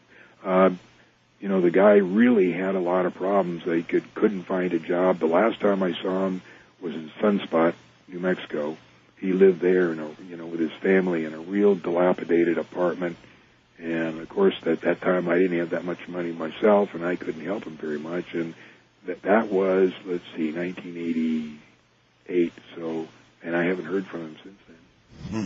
But most of these guys like that, uh, whoever talked to me disappear. For instance, the guy that was the photographer uh, in the Air Force in Hawaii, and he was assigned TDY to San Bernardino, Norton Air Force Base, and uh, he gets to Norton, and um, he's picked up in a limo with blacked out, and he was with one other photographer, and they picked up with a limo, uh, limo with blacked out windows, and they head north, and uh, it was a black limo driver, and the black limo driver, about an hour into the drive, looked back and said, "So you boys going to see the flying saucers, huh?" And you know they had no idea. I mean, they were, you know, that wasn't part of the, their information or anything. So they drive close to 29 Palms, uh, the, the Marine station there, and uh, the driver drives onto this platform, and it's lowered inside this huge hangar. And they get out of the car. They're asked to go into this little um, cubicle where they're asked to uh, strip off all their clothing, clothing, and get into a smock and booties and a hat. Hmm. And then they're given a camera. And in the in the middle of this hangar, is- in a net, was a UFO, a flying saucer, about 30 feet in diameter, and there was a ladder leading up to the hatch. Uh, so he climbs up into it uh, with the camera behind him, and he leans into the hatch, and he said to me, he said, John, he said it was so shocking, it was so huge in there that I could have taken a football and thrown it as far as I could and it wouldn't have hit the other side. And he said, I backed out to see how big this thing was, and it was only 30 feet. And he said, I you know, crawled back in, and there was uh, some scientists standing there, and they told me what to take pictures of. And, you know, I took those pictures and uh, eventually went back, changed into clothing, got to the airport, and sent back to Hawaii. And he disappeared. And I never heard from him after he sat in, in the same room that I'm talking to you from and told me that story and never heard from him again. Odd. Uh, from David in Portland, an interesting question, one that I would have made it to anyway, but um, please ask uh, uh, John if Lazar ever mentioned the word containers to him. Lazar uh, read about containers in the uh, briefing papers, so the military knows about this as well. Containers, ask about the containers. This means everything.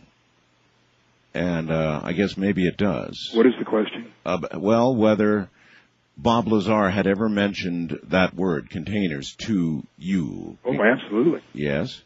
Yeah, he's the, the 65 external corrections and that the aliens referred to us as containers, and that was in the briefing. Now remember, when he went to work there, every day he would be taken into this room, and he said there was, you know, a hundred or so briefings in in small packets, small, you know, each one was stapled, and uh, and it had, you know, maybe uh, 10 or 15 pages, and a number of pages would be stapled together at the back. In other words, his clearance hadn't progressed to the point where he could read the whole briefing, but he could read a little bit of it. Well, this must be the the core, or might be the core issue that drives everything. That is, who we are. I mean, all of these different alien uh, races interested in us. Now, you know, we're something, but we're. It doesn't seem like we're that much, uh, unless, unless, um, unless we have, unless our souls have value. Well, if I haven't made it clear, um, we are an experiment. We're their experiment, and it's been going on for you know hundreds of thousands of years. Uh, and the experiment is with the soul. Uh, well, we are their we're, we're their experiment, but yet we have we we have souls. I don't know, John. I uh, souls the souls are real they go on forever and ever they're recycled you have many many many past lifetimes but for some reason we're not allowed to remember those uh, we can't profit from um, you know previous lifetimes now every once in a while there's a short circuit and people do remember very clearly lifetimes that happened 500 years It- ago. yes. They can go back to England. Yes. They can trace names. They can give you names, people in the cemetery, who they were there. You know, the whole whole thing. So there, there's no doubt about the soul goes on. You know, forever and ever. But it must be at the core of, of all the interest. Uh, I mean, the big question is, why are they so damn interested in us that they would dissect us, mutilate us? Oh no! Wait a minute, Dan. Don't confuse the dissecting and mutilating with the people who are doing the experiment. That's somebody else. Well, uh, you know, you say the people doing the experiment. Uh, what about the word God? I mean, are they? if they created us, if we are their experiment, then to uh, to us they would be our God. Very disturbing concept. Uh, or do you do you hold out that there would be? I mean, you said absolutely. Do you hold out there would be a God separate from? No, that's opinion. No, there is there's there's not anybody else. There's just there's just them. Now I'm going to get a lot of flack over that, but Yep. in fact, you know that's the story. Well, Well, that's the story that never can be told, right? That's right, and that's why they can't let the little the first thing out because it's all going to lead up to that. Did you at some point, um, I don't know, ten years ago, get completely satisfied? Did you like sit down at your desk one day and say, "Okay, for John Lear, I know as much as I need to know now. I'm satiated. Book closed." that was part of it, and part of it was the continual and uh, there's a word for it. Uh, Harass- very harassment? subtle, very subtle harassment. Very subtle. Nothing you could put your finger on, but you know nothing went right. And then when I quit talking about it, you know things improved. Got a job, you know, and as long as I kept my mouth shut, everything was fine. And now you just don't have that. Uh, And then Art Bell calls. that, So- that risk. oh, do you think that risk is still there? I mean, yes, you're retired and you don't have a job to lose at the moment, but hey, there are other aspects of your life.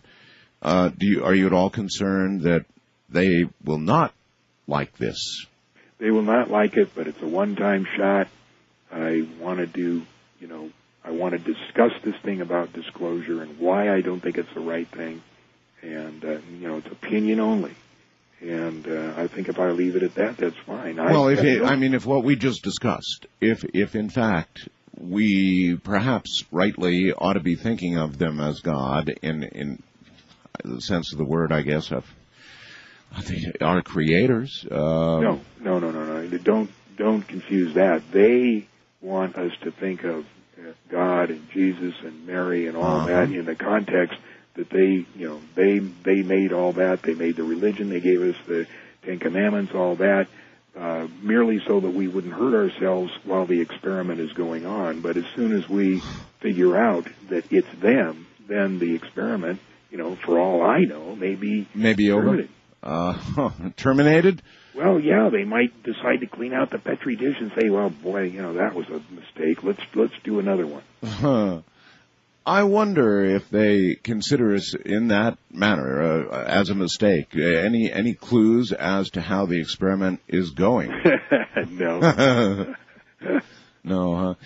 I I look at uh, the environment, and maybe I'm, the picture isn't big enough, but you know I see, gee, the North Pole melting, uh, the Antarctic melting, all these really weird things going on right now in our environment, and that would seem to be a real trouble spot for us. But again, I may not be looking at a big enough picture. I don't, I, don't know. I I mean, does that does that give us a failing grade? Is there some greater thing that we are to attain for them? I wonder what the nature of the experiment is, John. I wouldn't even No, huh? To know. to, to know what the experiment was about, and the reason is because every time you learn something new, the first thing the guy who's going to tell it is, well, to know uh, to to understand this, first you have to know about so and so. Do you know about so and so? No. Mm-hmm. So then they have to explain such and such. So since I don't know such and such, I can't possibly, you know, presume to know what the experiment is about. Do you understand? Yes. Okay. I do. Uh, but I, I do. That is something I do want to know. I mean, if it, all the rest of this is true, then I want to understand what we're living. I guess we all want to understand that. Um, obviously, the information that uh, they set up God and Jesus and all of that for us to control the experiment. Exactly. now you got it. That's uh that's that's a total killer. I mean, information of that sort would I think destroy the world. As Probably. we know it. It certainly would destroy the world as we know it. And and then so were these other religions? I mean was was all of man's religion Buddha all the rest of it uh, Buddhism and I can only say probably because the only thing that uh, uh, uh, Bob read in the document is the aliens sent Jesus and two others, and he and he told the names, and and uh, I can't remember what the names were. Um, they Well, were associated with other religions, though. Let me give you this to chew on. I interview a really bright guy who annoys the hell out of my audience when I have him on. His name is Matthew Alper. And uh, it is his contention, John, that we are wired to worship. Wired to worship. That there is uh, some aspect of the human brain, and sure enough, you know, you can go find some tribe that hasn't been touched by man, and they worship something, the sun, uh, the moon, uh, the wind, uh, wh- whatever. They worship something, in some cases making sacrifices. Uh, in other words, everybody is wired to grasp this belief that uh, we, we cannot deal with the concept of mortality, and so the brain, in its own defense, is wired to worship. And he takes a lot of flack for that. But doesn't that kind of make sense with what you just said uh, about um, our creators and the Uh, experiment and all the rest? Uh, wired to worship. I would agree that we're wired, but we certainly have to. I mean, we have to hold on to something. Yes. Yes. We have to hold on to something. Well, if you were our creators and you were setting up the experiment, you might um, wire your experiment to have religious, to tend toward having to have religious belief Yeah, uh, for the whole control thing. it's a possibility. One of the interesting things that Bob read in the documents is of the three that were sent down for these religious, you know, various religions, one was killed. And he said he read 18 pages of the search that the aliens made to find him. And throughout the 18 pages, it was fraught with the idea that they couldn't believe that mankind had destroyed this individual that they spent so much time Hmm. making. Uh, well, that's a, you've given me and everybody an awful lot to try and digest. Um, I guess it's your contention that this is, is so indigestible for most people that they'll treat it as, uh, you know, just so far beyond belief that that's why the cover-up's in no danger, just because it's so far out, and because people's uh, faith and religion will cause them to just reject it. The bottom line is, you know, as, as irritating is, it's none of their business. None of their business. Um, but but on the other hand, for some of us, like you, for example, it is uh, your business, or you've made it your business. I used to. Now I'm content to go to my cabin at Gold Butte where there is not a single human being for 60 miles and just sit there uh, and enjoy the uh, the mountainside and the animals and, and everything. It's just it's it's really nice. I remember you telling people at one point just exactly that. You know, just uh, sort of dismiss this stuff that we've been talking about and go enjoy your life. Something like that, right? Absolutely. All right, hold on, John.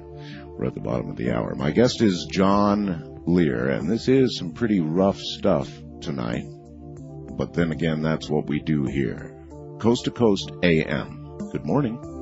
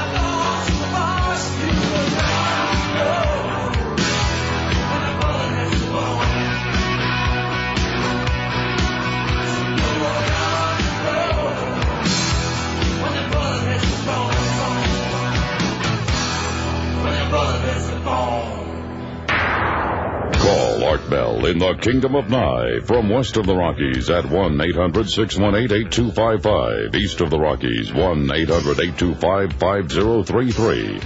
First time callers may reach Art at 1-775-727-1222. And the wildcard line is open at 1-775-727-1295. To reach Art on the toll-free international line, call your AT&T operator and have them dial 800-893-0903. This is Coast to Coast AM with Art Bell from the Kingdom of Nye. John Lear is here and he'll be right back.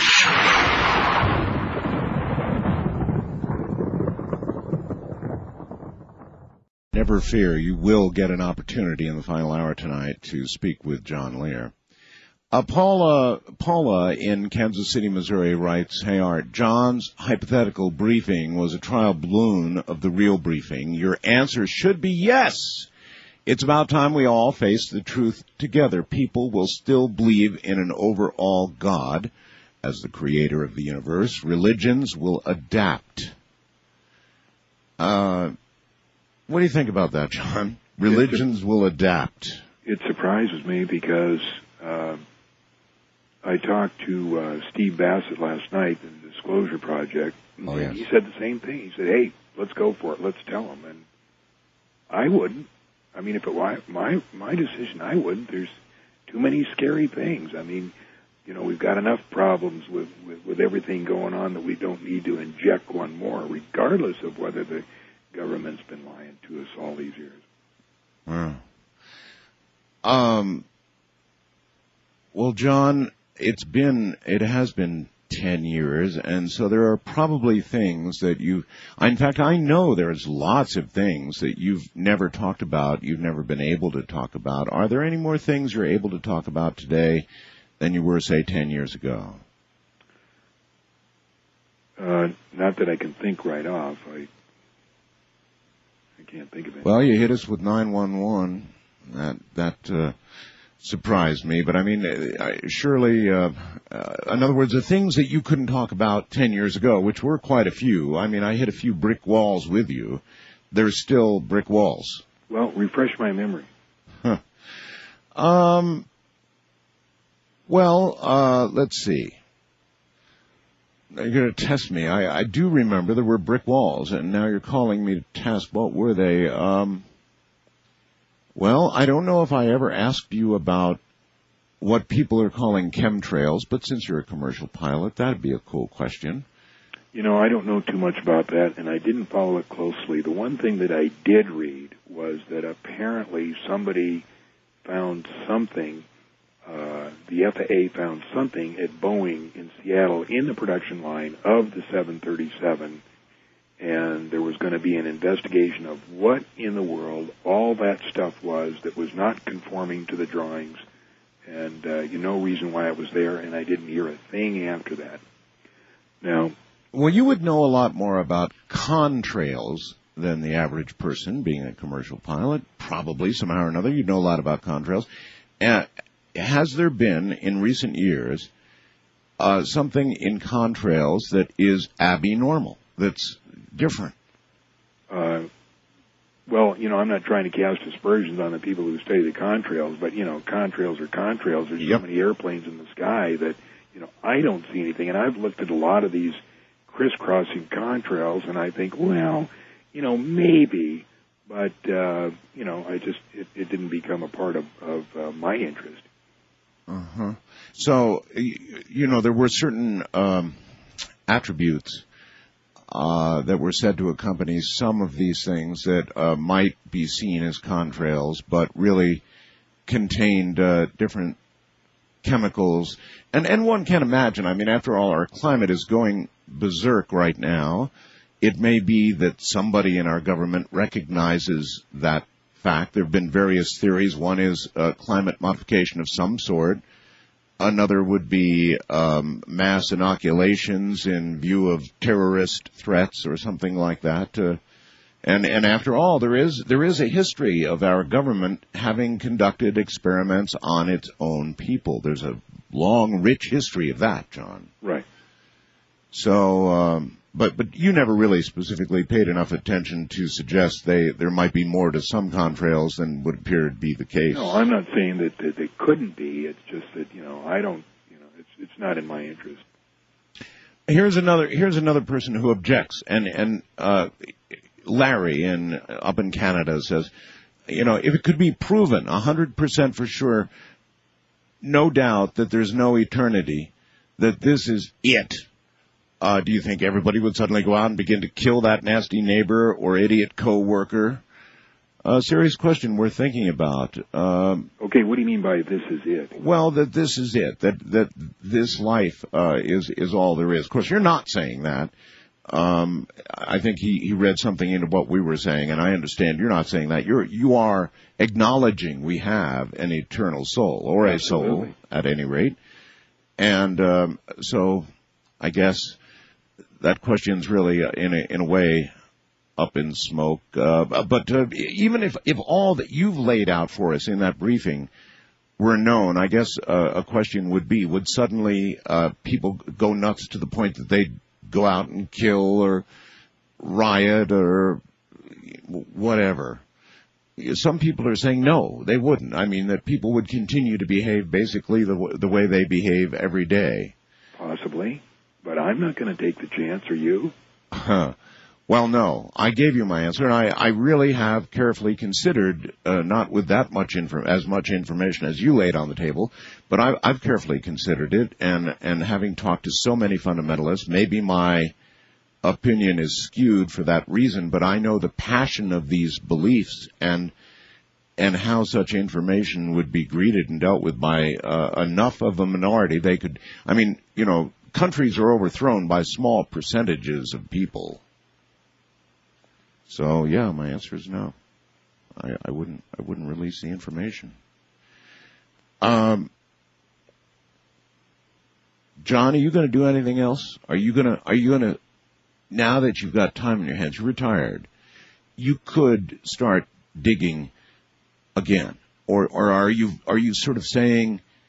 There's no point in digging anymore because I know as much as I need or even want to know. Yeah, um, I'm satisfied. That doesn't mean there isn't a huge volume of more information. It's that I am personally satisfied. I am personally satisfied satisfied to go up and sit in my cabin and and uh, spend the rest of my life looking at the deer and the quail and and uh, getting the gold mining operation going. It, this is you know this is uh, I'm satisfied. You I know, know as much as I need to know. That doesn't mean there isn't a volume. I understand. All right, let's talk about gold for a second. Um, you know the name Sitchin, of course. Sure. Well, Zecharia has been on the show oh a number of times, and I know his story really well uh, with regard to what he believes our history is, which was that we were created early on as gold miners, and I don't know why it's such a crazy story, you know, the planet that comes zooming by every now and then and um, that we were created for this gold mining purpose. But I do know that humans have an unnatural attraction to gold. You can hold gold in your hand and you can feel, I don't know, John, I don't know, there's something special when you hold a piece of gold in your hand. Yeah, William Bramley came up with the same um, same idea in the Gods of Eden, uh, where he hypothesized that we're, we were being bred as slaves. Uh-huh. It doesn't mean slaves to dig gold, but it, that was part of the uh, hypothesis.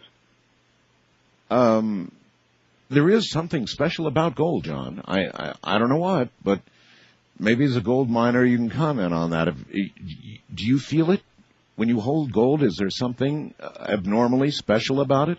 Well, of course, my gold is is a lode, and uh, you know it passes. All we're doing is passing across the table once, and we get a concentrate, and we take that somewhere else to get them doing refining. So actually, I don't get to feel gold.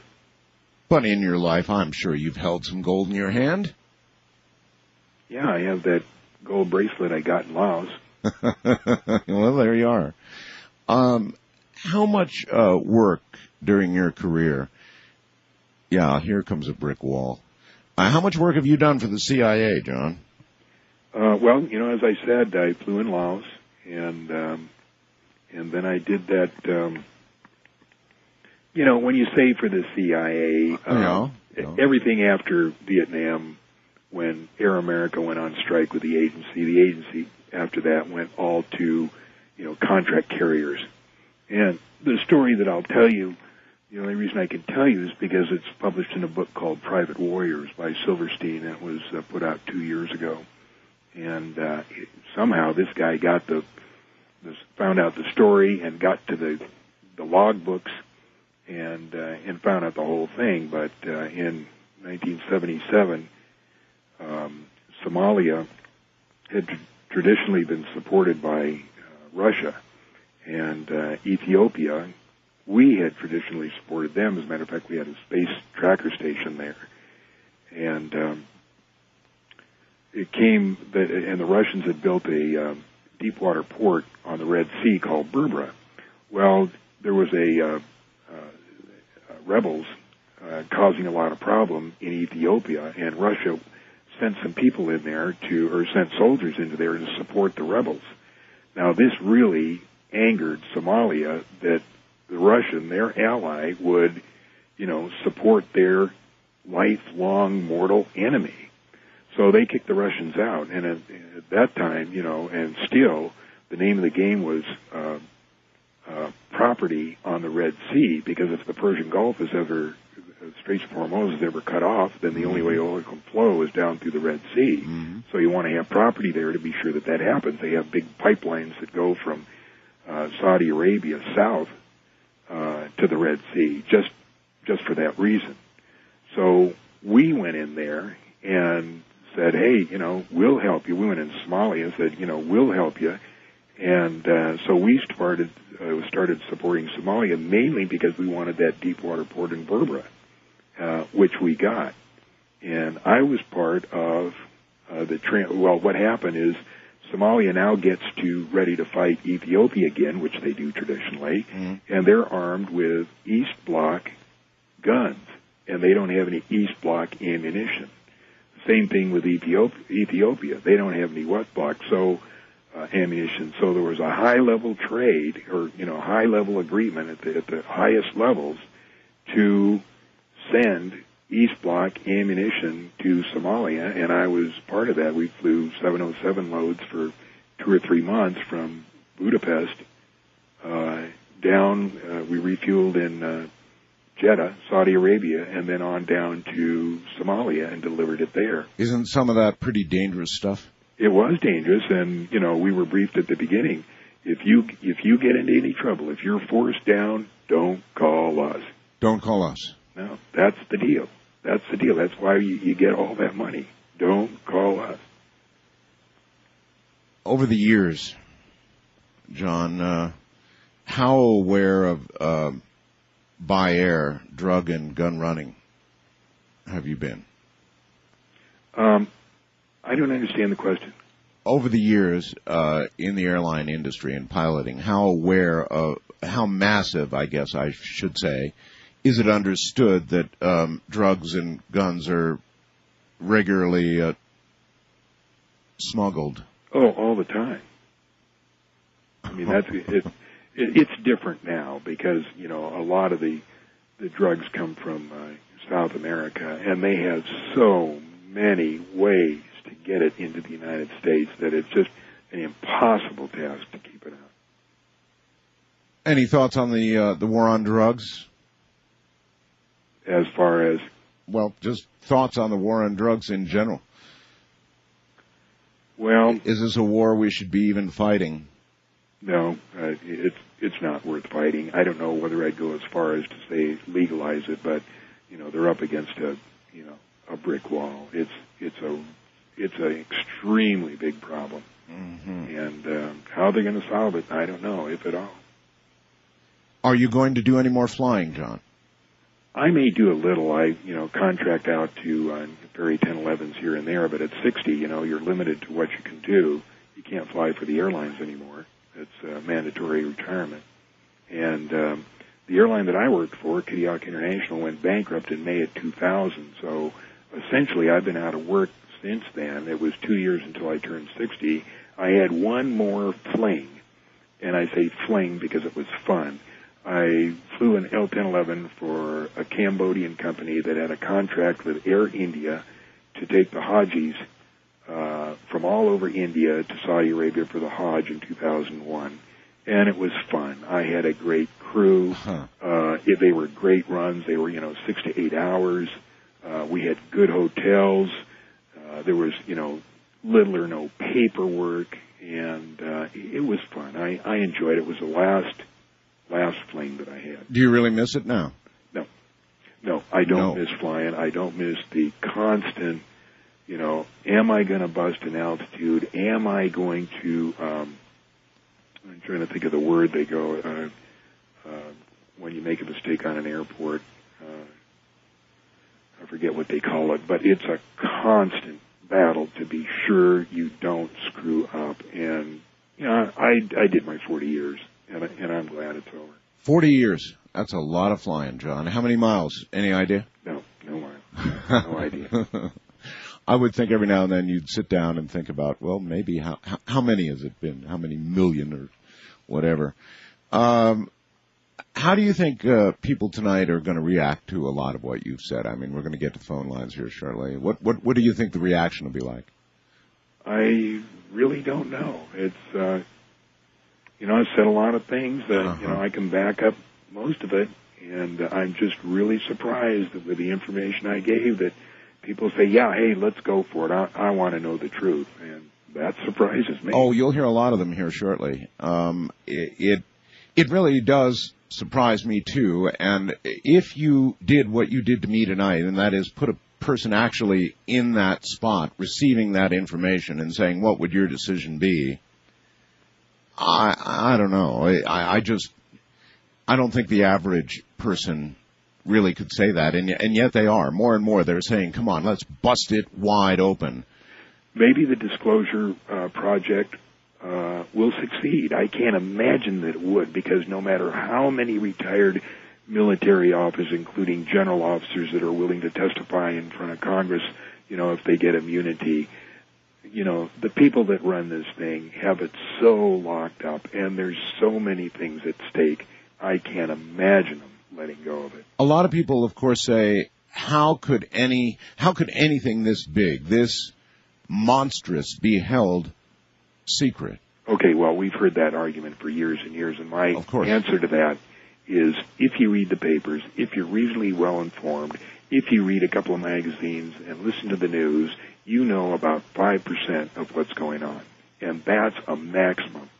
There is so much secret stuff going, you know, in 1960s, uh, they had a big conference with the military and civilian contractors that everything had to move underground because of the fact that too many people were too observant. They could see trucks, they could see tanks, they could see supplies moving ab- uh, above ground. So everything went underground, and the massive transportation systems underground are just people wouldn't believe it. You know, a, lot of people in the area that I live in, uh, which is not that far from, as you know, uh, as you're not, uh, from the secret areas, uh, they, they detect these underground deep rumblings uh, beneath our feet here in the desert, and you're suggesting there's good reason for that.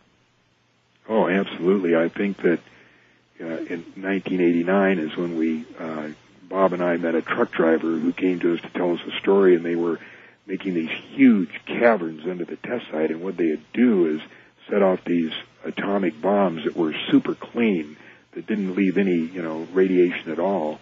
And then uh, they'd go down and they'd, they'd uh, clean it out, and they'd put walls, and and uh, I think the things went down like a mile. And his job as a driver would be to drive the cement truck uh, around this circular uh, circular uh, uh, road all the way down to the bottom, pour cement, then wind all the way back up. And I think there were eight of them up there, We really have bombs that are that clean? uh, supposedly. That's incredible. Uh, you would think such a clean bomb would have contemporary uses above ground. or is that just something that is uh, is going to also be held secret? I guess the fact that we even possess such thing. Well, I saw a picture the other day on the internet of the bomb in Indonesia and the crater that it it made, and the argument was that this was a mini nuclear clean bomb, and and if the picture was real, I mean, normal explosives didn't make that. It it had to be something else. Fascinating. All right, John, hold on. We're headed toward the top of the hour, and I am going to open the phone lines, and we're going to get your reaction and your questions and your comments about all of this, and it should be indeed interesting after such an incredible briefing. And to see how all of you out there are assimilating this information. From the high desert, I'm Art Bell.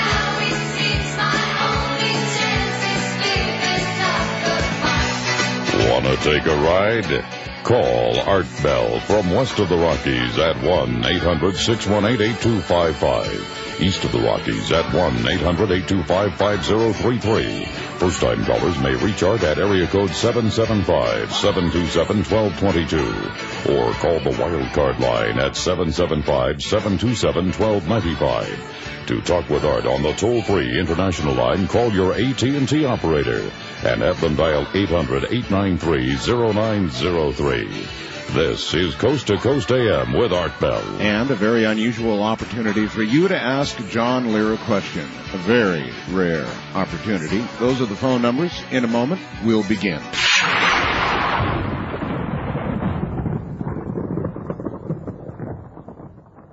Listen, you know, I, I understand it, it seems in, incredibly counterintuitive that somebody like myself would do a program like this about this subject, digging for this information, concentrating and boring in on this incredible topic, wanting to know the story, wanting to know the facts, wanting to know the truth, and yet when I'm read a litany of the truth and then here are, uh, what do you want to do? Do you want to release this, um, or not? I end up saying, no, I understand. That seems very, very, very counterintuitive, but it's, it's my honest response.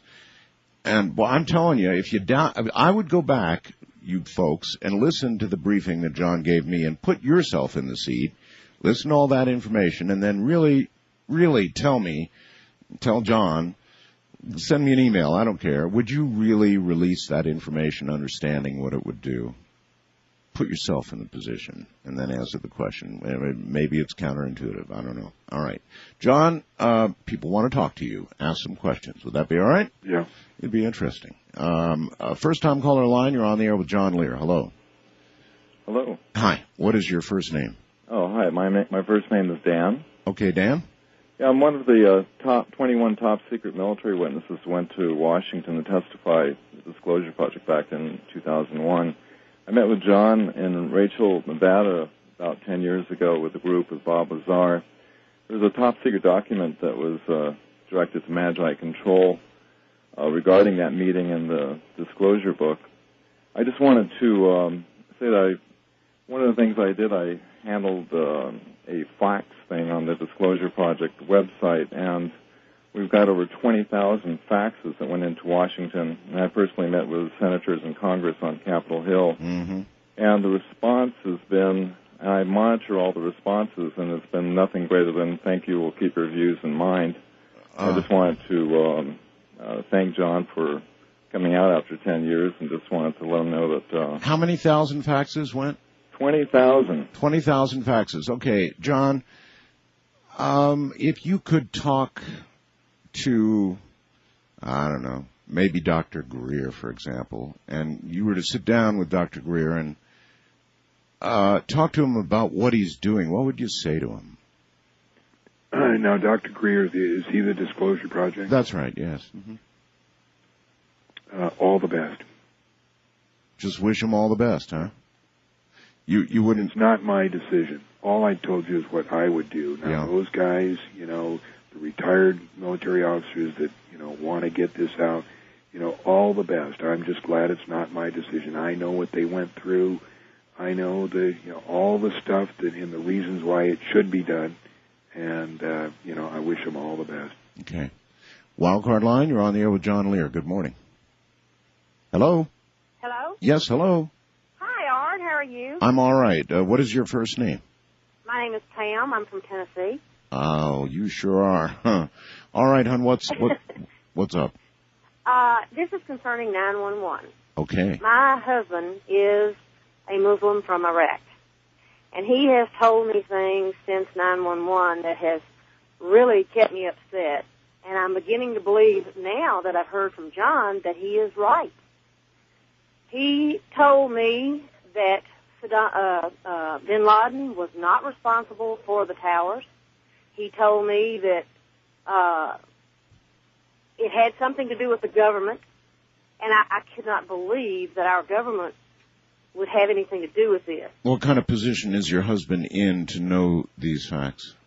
I don't know. He he is on the news all the time. He gets on his computer and pulls up that Al Jazeera, I don't know how you say it, uh, paper.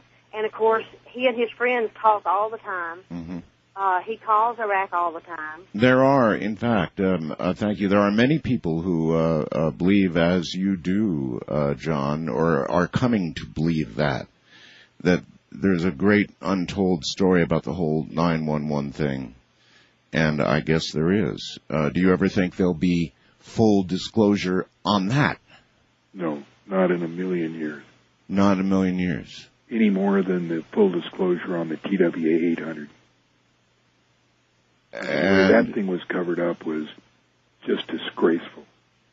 in your opinion, uh, there was no question it was a missile that brought that airplane down. Absolutely no question. Okay. East of the Rockies, you're on the air with John Lear. Good morning. Hello? Hello. Hello, East of the Rockies? Yes. Wonderful. Art Bell, what a pleasure and a privilege. Uh, John, John Lear, yes, I would have to agree that uh, not in a million years uh, the government would admit to 9/11. I think uh, in some odd, twisted way we need the financing to uh, have a, a, a somewhat rational reason to, um, uh, you know, extend our power. Okay, now uh, realize I'm not saying our government had anything to do with that. No, no, I, I would agree. However, your information and and and you are you presently like kind of go out to the country and and look at the deer and enjoy the simplistic ideas of life. That's what I like. Oh, I love that too. And Henry David Thoreau did that in a lot of things, and he was he was said to be uh, uh, someone that was against society. And sometimes, you know, we we fear what we don't understand. And I think, you know, kudos to to both of you All right, sir. Well, th- thank you very much, John. Uh, the war itself uh, with Iraq. Any any comments on the war with Iraq? Um, I had two comments. Let's see if I can remember them. Hmm. I can't. Ask me a little while later. All right. Uh, west of the Rockies, you're on Oh there. wait, yeah, I remember. All right. Uh, number one, it's my opinion that Saddam Hussein died three years ago of limb cancer, and number two, we were tricked into that war, and that's all I'm going to say about that. Okay, tricked into the war. West of the Rockies, you're on there with John Lear. Hi. Hi, How are you doing? I'm doing okay. How are you and where are you? I'm, uh, God. I'm doing great. My name is Barbara, and I'm from Laguna Beach, Okay, Barbara. California. Right. and you gentlemen are just a pleasure to listen to tonight. Thank you. I grew up around this stuff. My father was in SAC for over 30 years, and he's got about 13 years on, on Mr. Lear. But um, the one thing I was really curious about is, um, is he ever thinking about writing a book about this? No. Sir, no. No. Because I would love to send that to my dad. I do everything to try to shake my dad up. Okay, well, he uh, won't give me any answers. well, uh, thank you very much for the call. And that's a, it is an interesting question in a way, John. Almost everybody who does the kind of stuff that you did with Bob and others and is aware of the kind of information you have, everybody writes a book, but you're not going to do it, huh? Well, let me answer it this way. I once proposed after, while this thing was going on with Bob Lazar, a little thing we could do to, to harass Area 51. He said, John, we've tickled that dragon enough. Huh. Yes. That's my answer as far as a book. I've tickled the dragon enough. Okay. First time caller line, you're on there with John Lear. Good morning. Hello? Yes, hello, Art. Yes. Yes, uh, what a pleasure to speak to you. Thank you. Mr. Lear. Yeah. I do have a question. Uh, you were saying that perhaps we may be someone else's experiment. Um, by extension, and I realize this is a bit over the top, but what do you think the possibility is that perhaps whoever they are, the entire universe is their experiment, in which case, for all practical purposes, they would be gods? Possibly.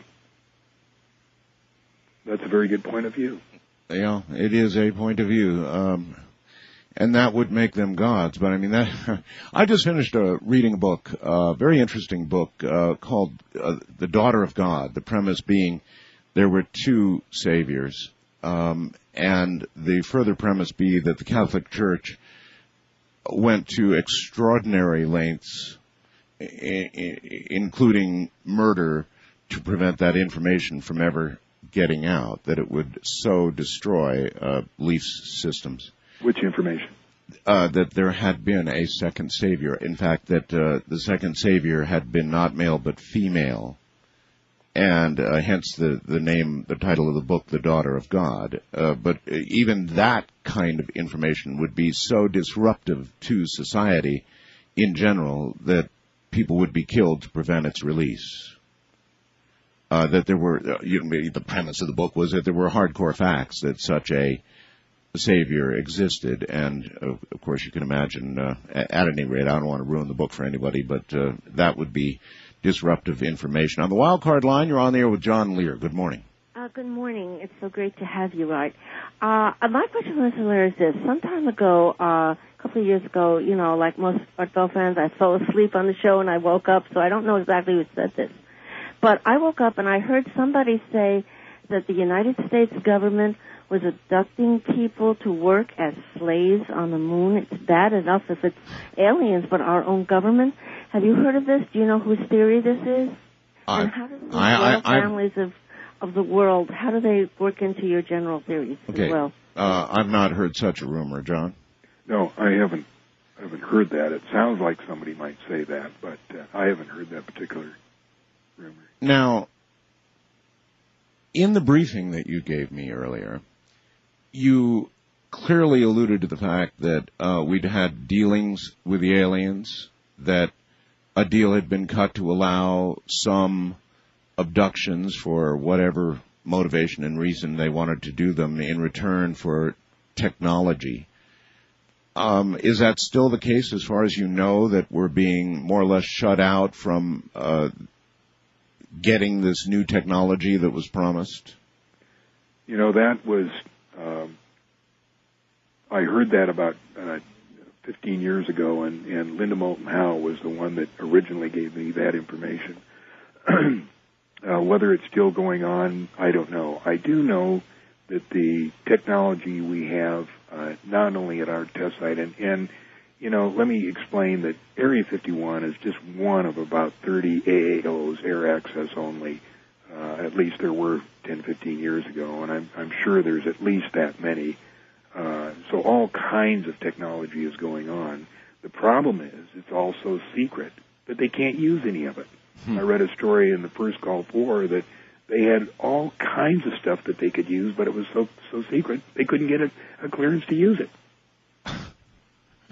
Ah, yes. Um, uh, in an age where you know we're beginning to wonder where our next kilowatt is coming from, uh, when uh, the amount of coal and oil, or at least oil available in the world, is going to be I don't know 30 or 40 years within, or even before that, it's going to start to choke us, and we need technological advance because we need power. Uh, so do you suppose some of this, I mean, you, you do have to suppose almost that some of these propulsion systems, for example, John, could be used to provide the power that the world needs and may have to end up going to war over if we don't get. Absolutely, but we can't make it. In other words, I mean, there's there's abundant power in antimatter reactors, but we don't have any way to contain it or make the fuel necessary. Now they can, you know, the aliens can give us, you know, hundred uh, megawatt generators of the size of a not uh, uh, hundred megawatt generators of the size of an ice chest, but you know that's just one. I don't think they'd supply them abundantly to us. East of the Rockies, you're on the air with John Lear. Hello. Hi, Art. Hi. Uh, this is Mike from Milwaukee. I just wanted to ask Mr. Lear a question. Okay. Uh, has he ever heard of uh, James P. Hogan, the writer that wrote Inherit the Stars? No, I haven't. Okay, he wrote a very that book called Inherit the Stars. That was all about a planet that's uh, supposedly where the uh, asteroid belt is was once a planet with humans on it, of course, and they became a spacefaring race, and they moved then from there after they blew up their own planet as a war warmongering people. They moved on to Mars and then colonized it, and then of course that lost its atmosphere, and then they had scientists or whatever on the moon, our moon, that was actually around their planet in the first place, and it kept moving toward until Earth grabbed it.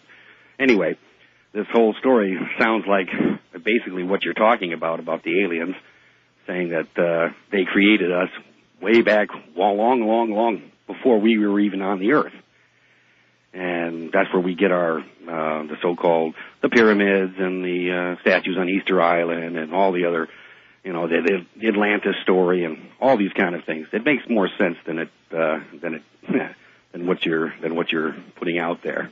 Well, But of course, realizing hold that on, we're ho- hold on, caller. okay. John. That's possible. I wanted to comment on the pyra- pyramids. I spent two years in living in Cairo, 1981 and 1982, and in those days I was pretty well uninformed, and I remember crawling around the, the pyramids and, and looking at the, the the absolutely enormity of them and how closely the stones fit, and that at that time I certainly believed that you know a thousand, a million Egyptians rolled them up on logs up there, and now I I look back and I wondered how I could have been so stupid, as to right. think that. I mean, it's just impossible. I, I I totally agree. So you're basically telling me after all these years of finding finding out that I'm just a, a Lilo and Stitch experiment six two six, right? and the vessel that I'm walking around in is, you know, I wait in line and get back and get another and get another vessel after I'm done with this one, right? Absolutely. That. All right, that I that that makes my life perfect. Thanks. I was I love that. Well, I Oh, hope the current vessel occupancy is well for you, sir. Thank and you. Art, thank you very much. yeah, take care. All right. Um, west of the Rockies, you're on the air with John Lear. Hello. Hi, this is Rob calling from San Diego. Yo, Rob. Hi, Art. Uh, pleasure to hear you back on there again. I've been listening to you on and off for about eight years since I was a teenager in Anchorage, Alaska. It's been a while. Yes. Um, my comment on the subject goes to the morality of telling the truth Okay. and of government not telling the truth. Okay. And I heard the argument about disruption of society Yes. as an argument for not releasing the truth, but in my opinion, the morality of telling the truth outweighs those possible consequences. And yes, there would be disruption, but ultimately, how, how many lives are wasted pursuing ideas that our government knows not to be true? Hmm. The moral argument, John, um, for the release of the information. Uh, when you when you look at it um, and balance the moral question, uh, obviously it comes out weighted on the side of not telling, right? Well, let me explain it this way. Have I talked about the ant farm yet? No, go ahead and talk about the ant farm. Remember how we used to have these little ant farms with the glass on both sides? I had one. Okay. So you're walking by one day, and if you could talk to the ant, the ant's there staring out the window. He says, "Hey, what's going on?" And you say nothing. He says, "Wait a minute. I have a right to know the truth. I want to know what's going on. What are you going to tell him? He's in an ant farm. You're in an ant farm. Um, if I chose to shake this right now, you'd all be toast. Right. I don't know. I've stepped on many of your kind without even thinking about it. I don't know. There wouldn't be anything you could tell those ants that would uh, console them with regard to their position. Right. So why tell them anything? So why tell them anything? Um, I mean, there they are working and building those tunnels and everything, and you know they look out the window and see somebody and say, "Hey, what's going on? Tell me the truth." Um, no, there'd be there'd no there really wouldn't be any upside to it. I, I- as it was, John, my ant farms frequently expired overnight. I mean, I'd I'd come the next morning and look for all the busy little work, and all I'd see is little bodies. Um, hold on, John. We're at the bottom of the hour. We'll be right back. I've been drifting on the sea of heartbreak, trying to get myself ashore. Can't believe what you're hearing? Listen to it again when you sign up for Streamlink at www.coasttocoastam.com. It's only 15 cents a day.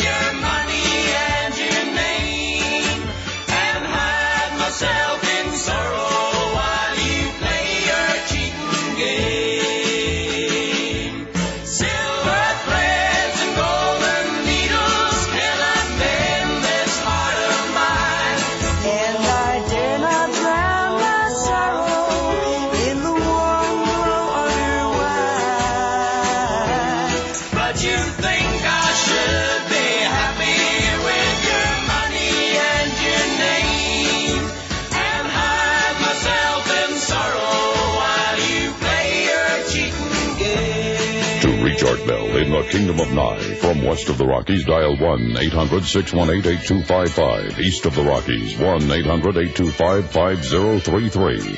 First time callers may reach Art at 1-775-727-1222. Or use the wildcard line at 1-775-727-1295. To reach Art on the toll-free international line, call your AT&T operator and have them dial 800-893-0903. This is Coast to Coast AM with Art Bell on the Premier Radio Networks.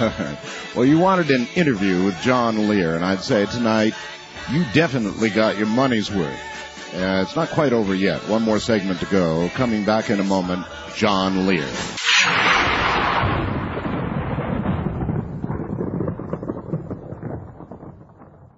Already. I'm getting hundreds of fast blasts requesting um, written copies of what John Lear said. John Lear is briefing. People are trying to figure out how to get to it on Streamlink, and they're going to dissect every single word of that briefing.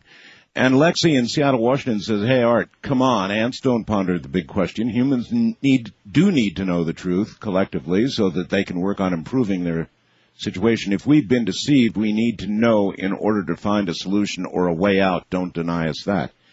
Well, I think John's just saying that he knows what he knows, which he laid out for you, and he's at terms with it, and at 60 years old, he's just decided he's going to enjoy life. And there is that, isn't there, John? Yeah, and let me make one small correction here. When I mentioned the second company that I had problems with over this UFO stuff, it was not Lockheed. It was a government contractor that I was flying a Lockheed L-1011. 1011. Okay. All right. Um, back to the phones. West to the Rockies, you're on the air with John Lear. Hi. Mr. Bell. I'm uh, Mr. Caller. Gentlemen, uh, it's an honor to be a part of such a uh, an incredible program with you, Art Bell and John Lear. First of all, you, you, I chuckled when you mentioned about the ant farms. I knew Milton Levine, Uncle Milty's ant farms. You remember? Oh, sure. He was in Hollywood. He'd, he'd send the people in the vans out in the desert. He'd pay them a penny apiece for every ant they brought back in. John, God bless you. Um, I'm sitting here. I'm kind of choked up. I'm looking at a photo with your dad, Bill, and myself in his office at Stead at the air base there. Yeah. And also another photo with John Lear. You remember the geologist, uh, uh, in, in tungsten specialty, and and also Sam Old with the Lear fan. Yeah. And myself. And I go back over 40 years with many of the mines, the gold mines and tungsten mines.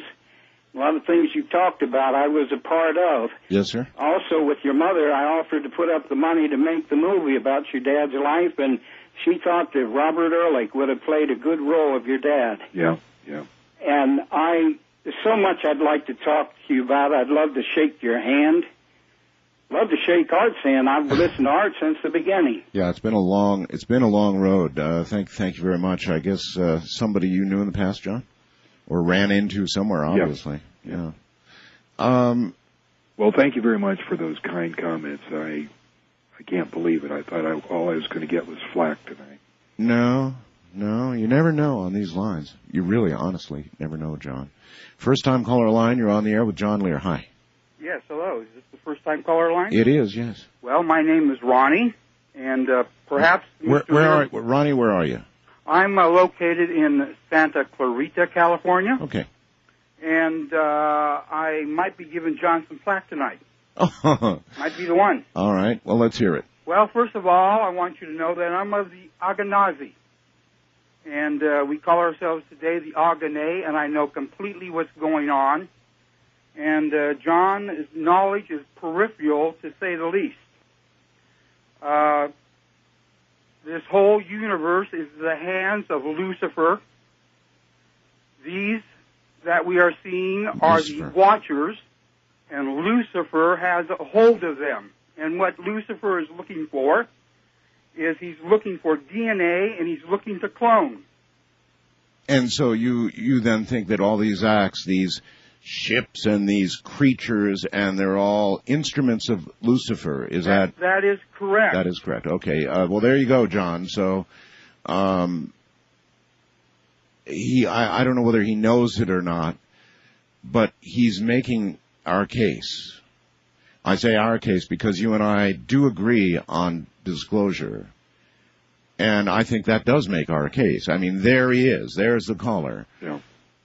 This is all the act of the devil. And, and I've, you know, I've, I've joked in the past, John, if a saucer landed and the ramp came down and a little green guy started walking down the ramp, uh, that caller and his brethren would fill that little green guy full of so much lead he'd never get to the bottom of the ramp.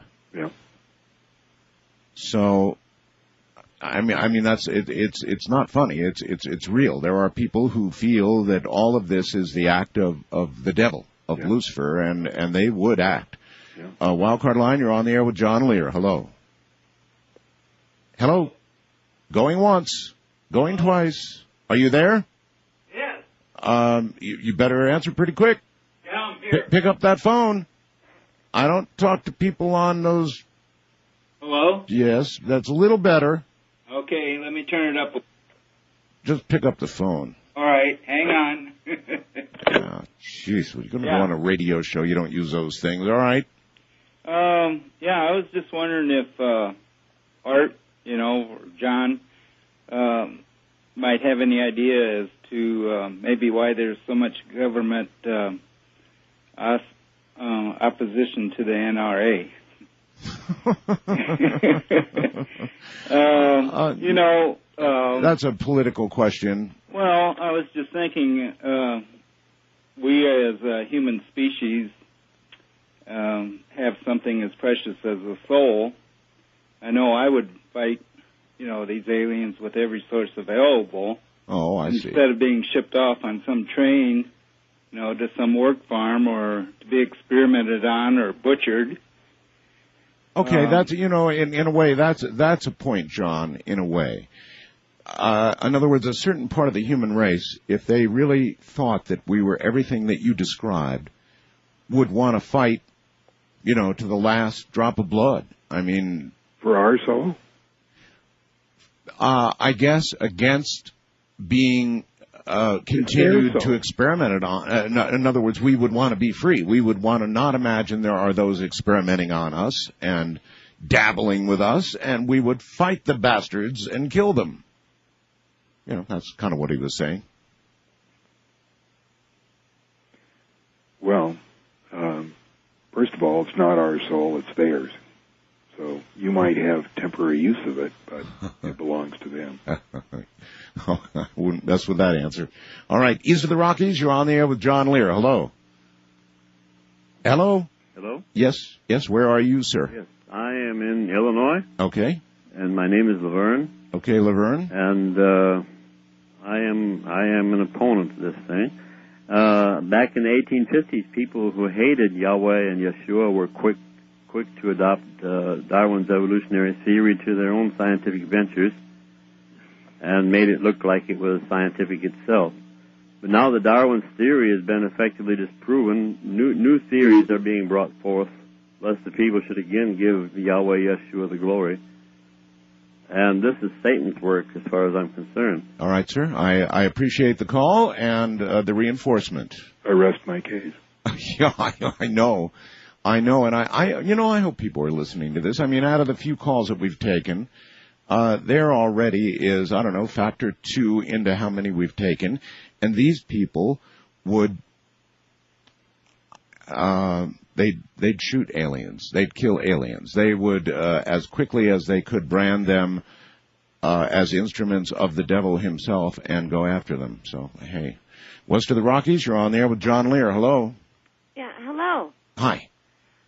What you, your what is your name? My name is Gillian. Gillian. And where are you? I'm in Rocklin, California. Okay, rock on then. That's, thank you.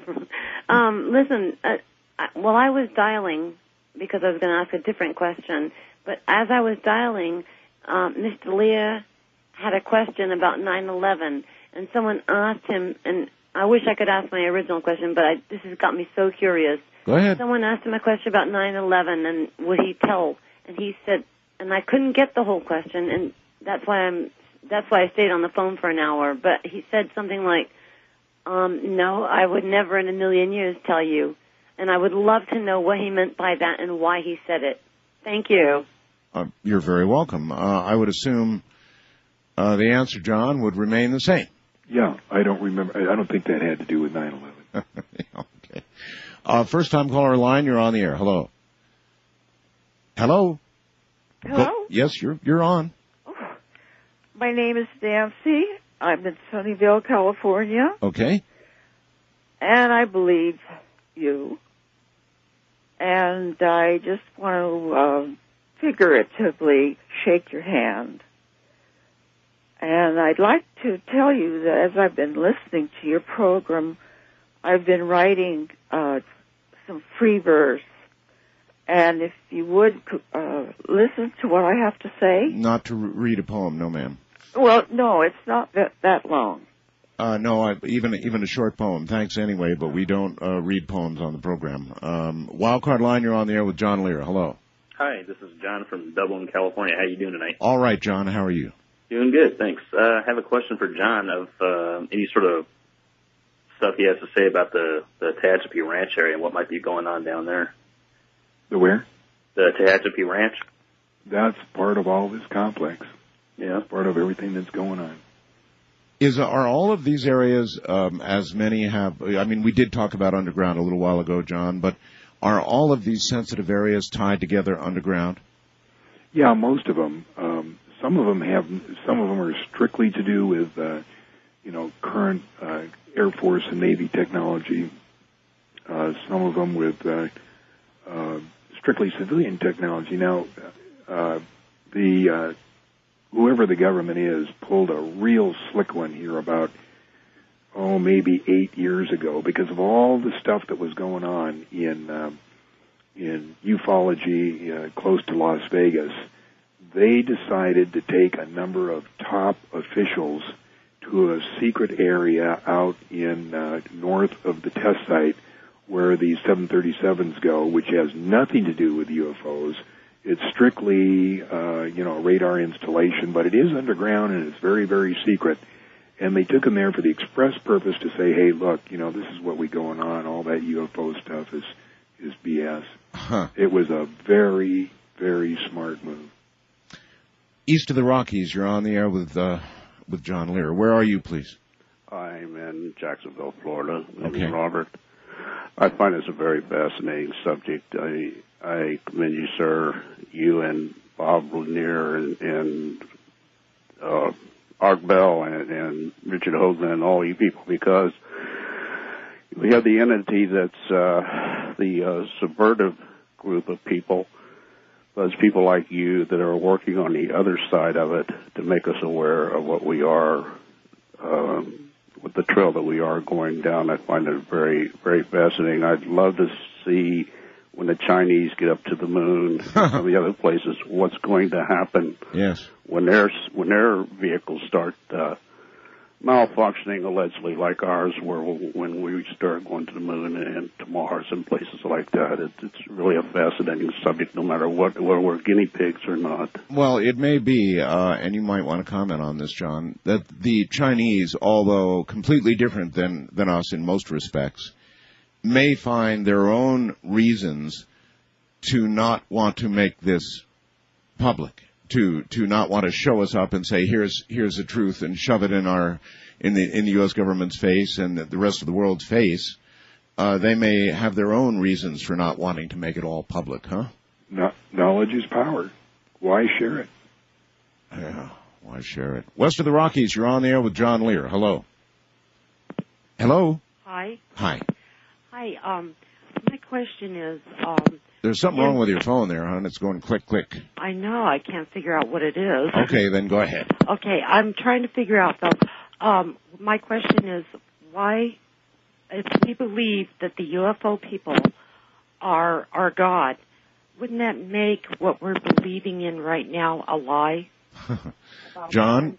Okay, hold on, dear. John. No, we're not saying they're God. They're in charge of the experiment. If you want to call them God, fine, but but they're not God.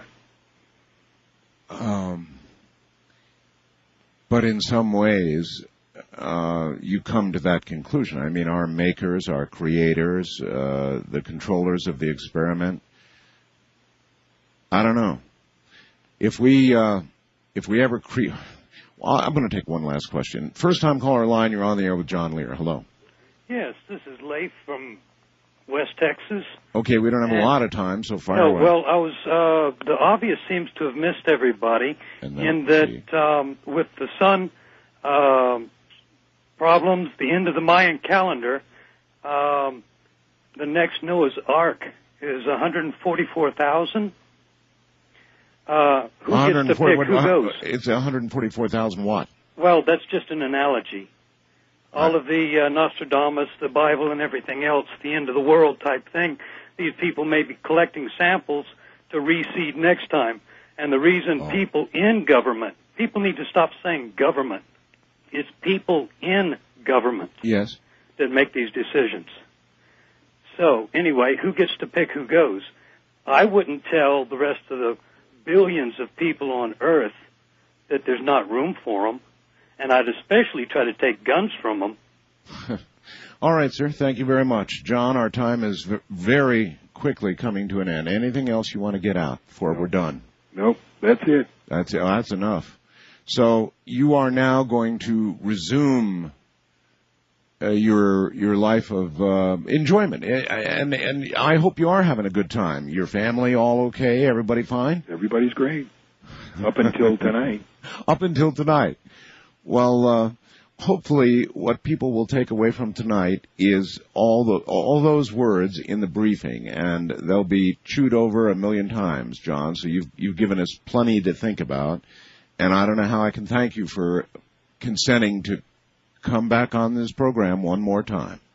Okay, Art. Good night. Good night. That's John Lear. That's a lot to think about, isn't it? And I do recommend that you do that, ladies and gentlemen. Uh, get a copy, a text copy of John Lear's briefing tonight. I had no idea that was coming, incidentally. None at all. Uh, type it out. Remember the words. Get it on Streamlink. Uh, do whatever you're going to do. And then sit down and I ask you, reflect on it heavily, very heavily. Assume it's true for the sake of the question that he posed to me and now the same one that I turn around and pose to you. And that is knowing all of that as actual fact, would you then go ahead and consent to everybody's uh, knowing, to a sudden release of all of that incredibly frightening, societal changing information? What would you do with it? Answer that question honestly and then fire me off an email or something if you would. And again, I want to thank John Lear for being here. Uh, one last incredible kind of program, and I wish his life goes on well. And please don't bug John now that he's been on the air. Uh, please don't, uh, please don't bug him. Uh, let him do as he would like to do, and that is live his life out happily with his family. As for me, that'll do it for this. Oh, what a weekend this has been. See you next weekend. Till then, from the high desert, here's Crystal. Good night. Midnight in the desert, shooting stars across the sky. This magical journey take us on a ride, filled with the longing, searching for the truth. Will we make it to tomorrow? Will the sun shine on you? Midnight in the desert,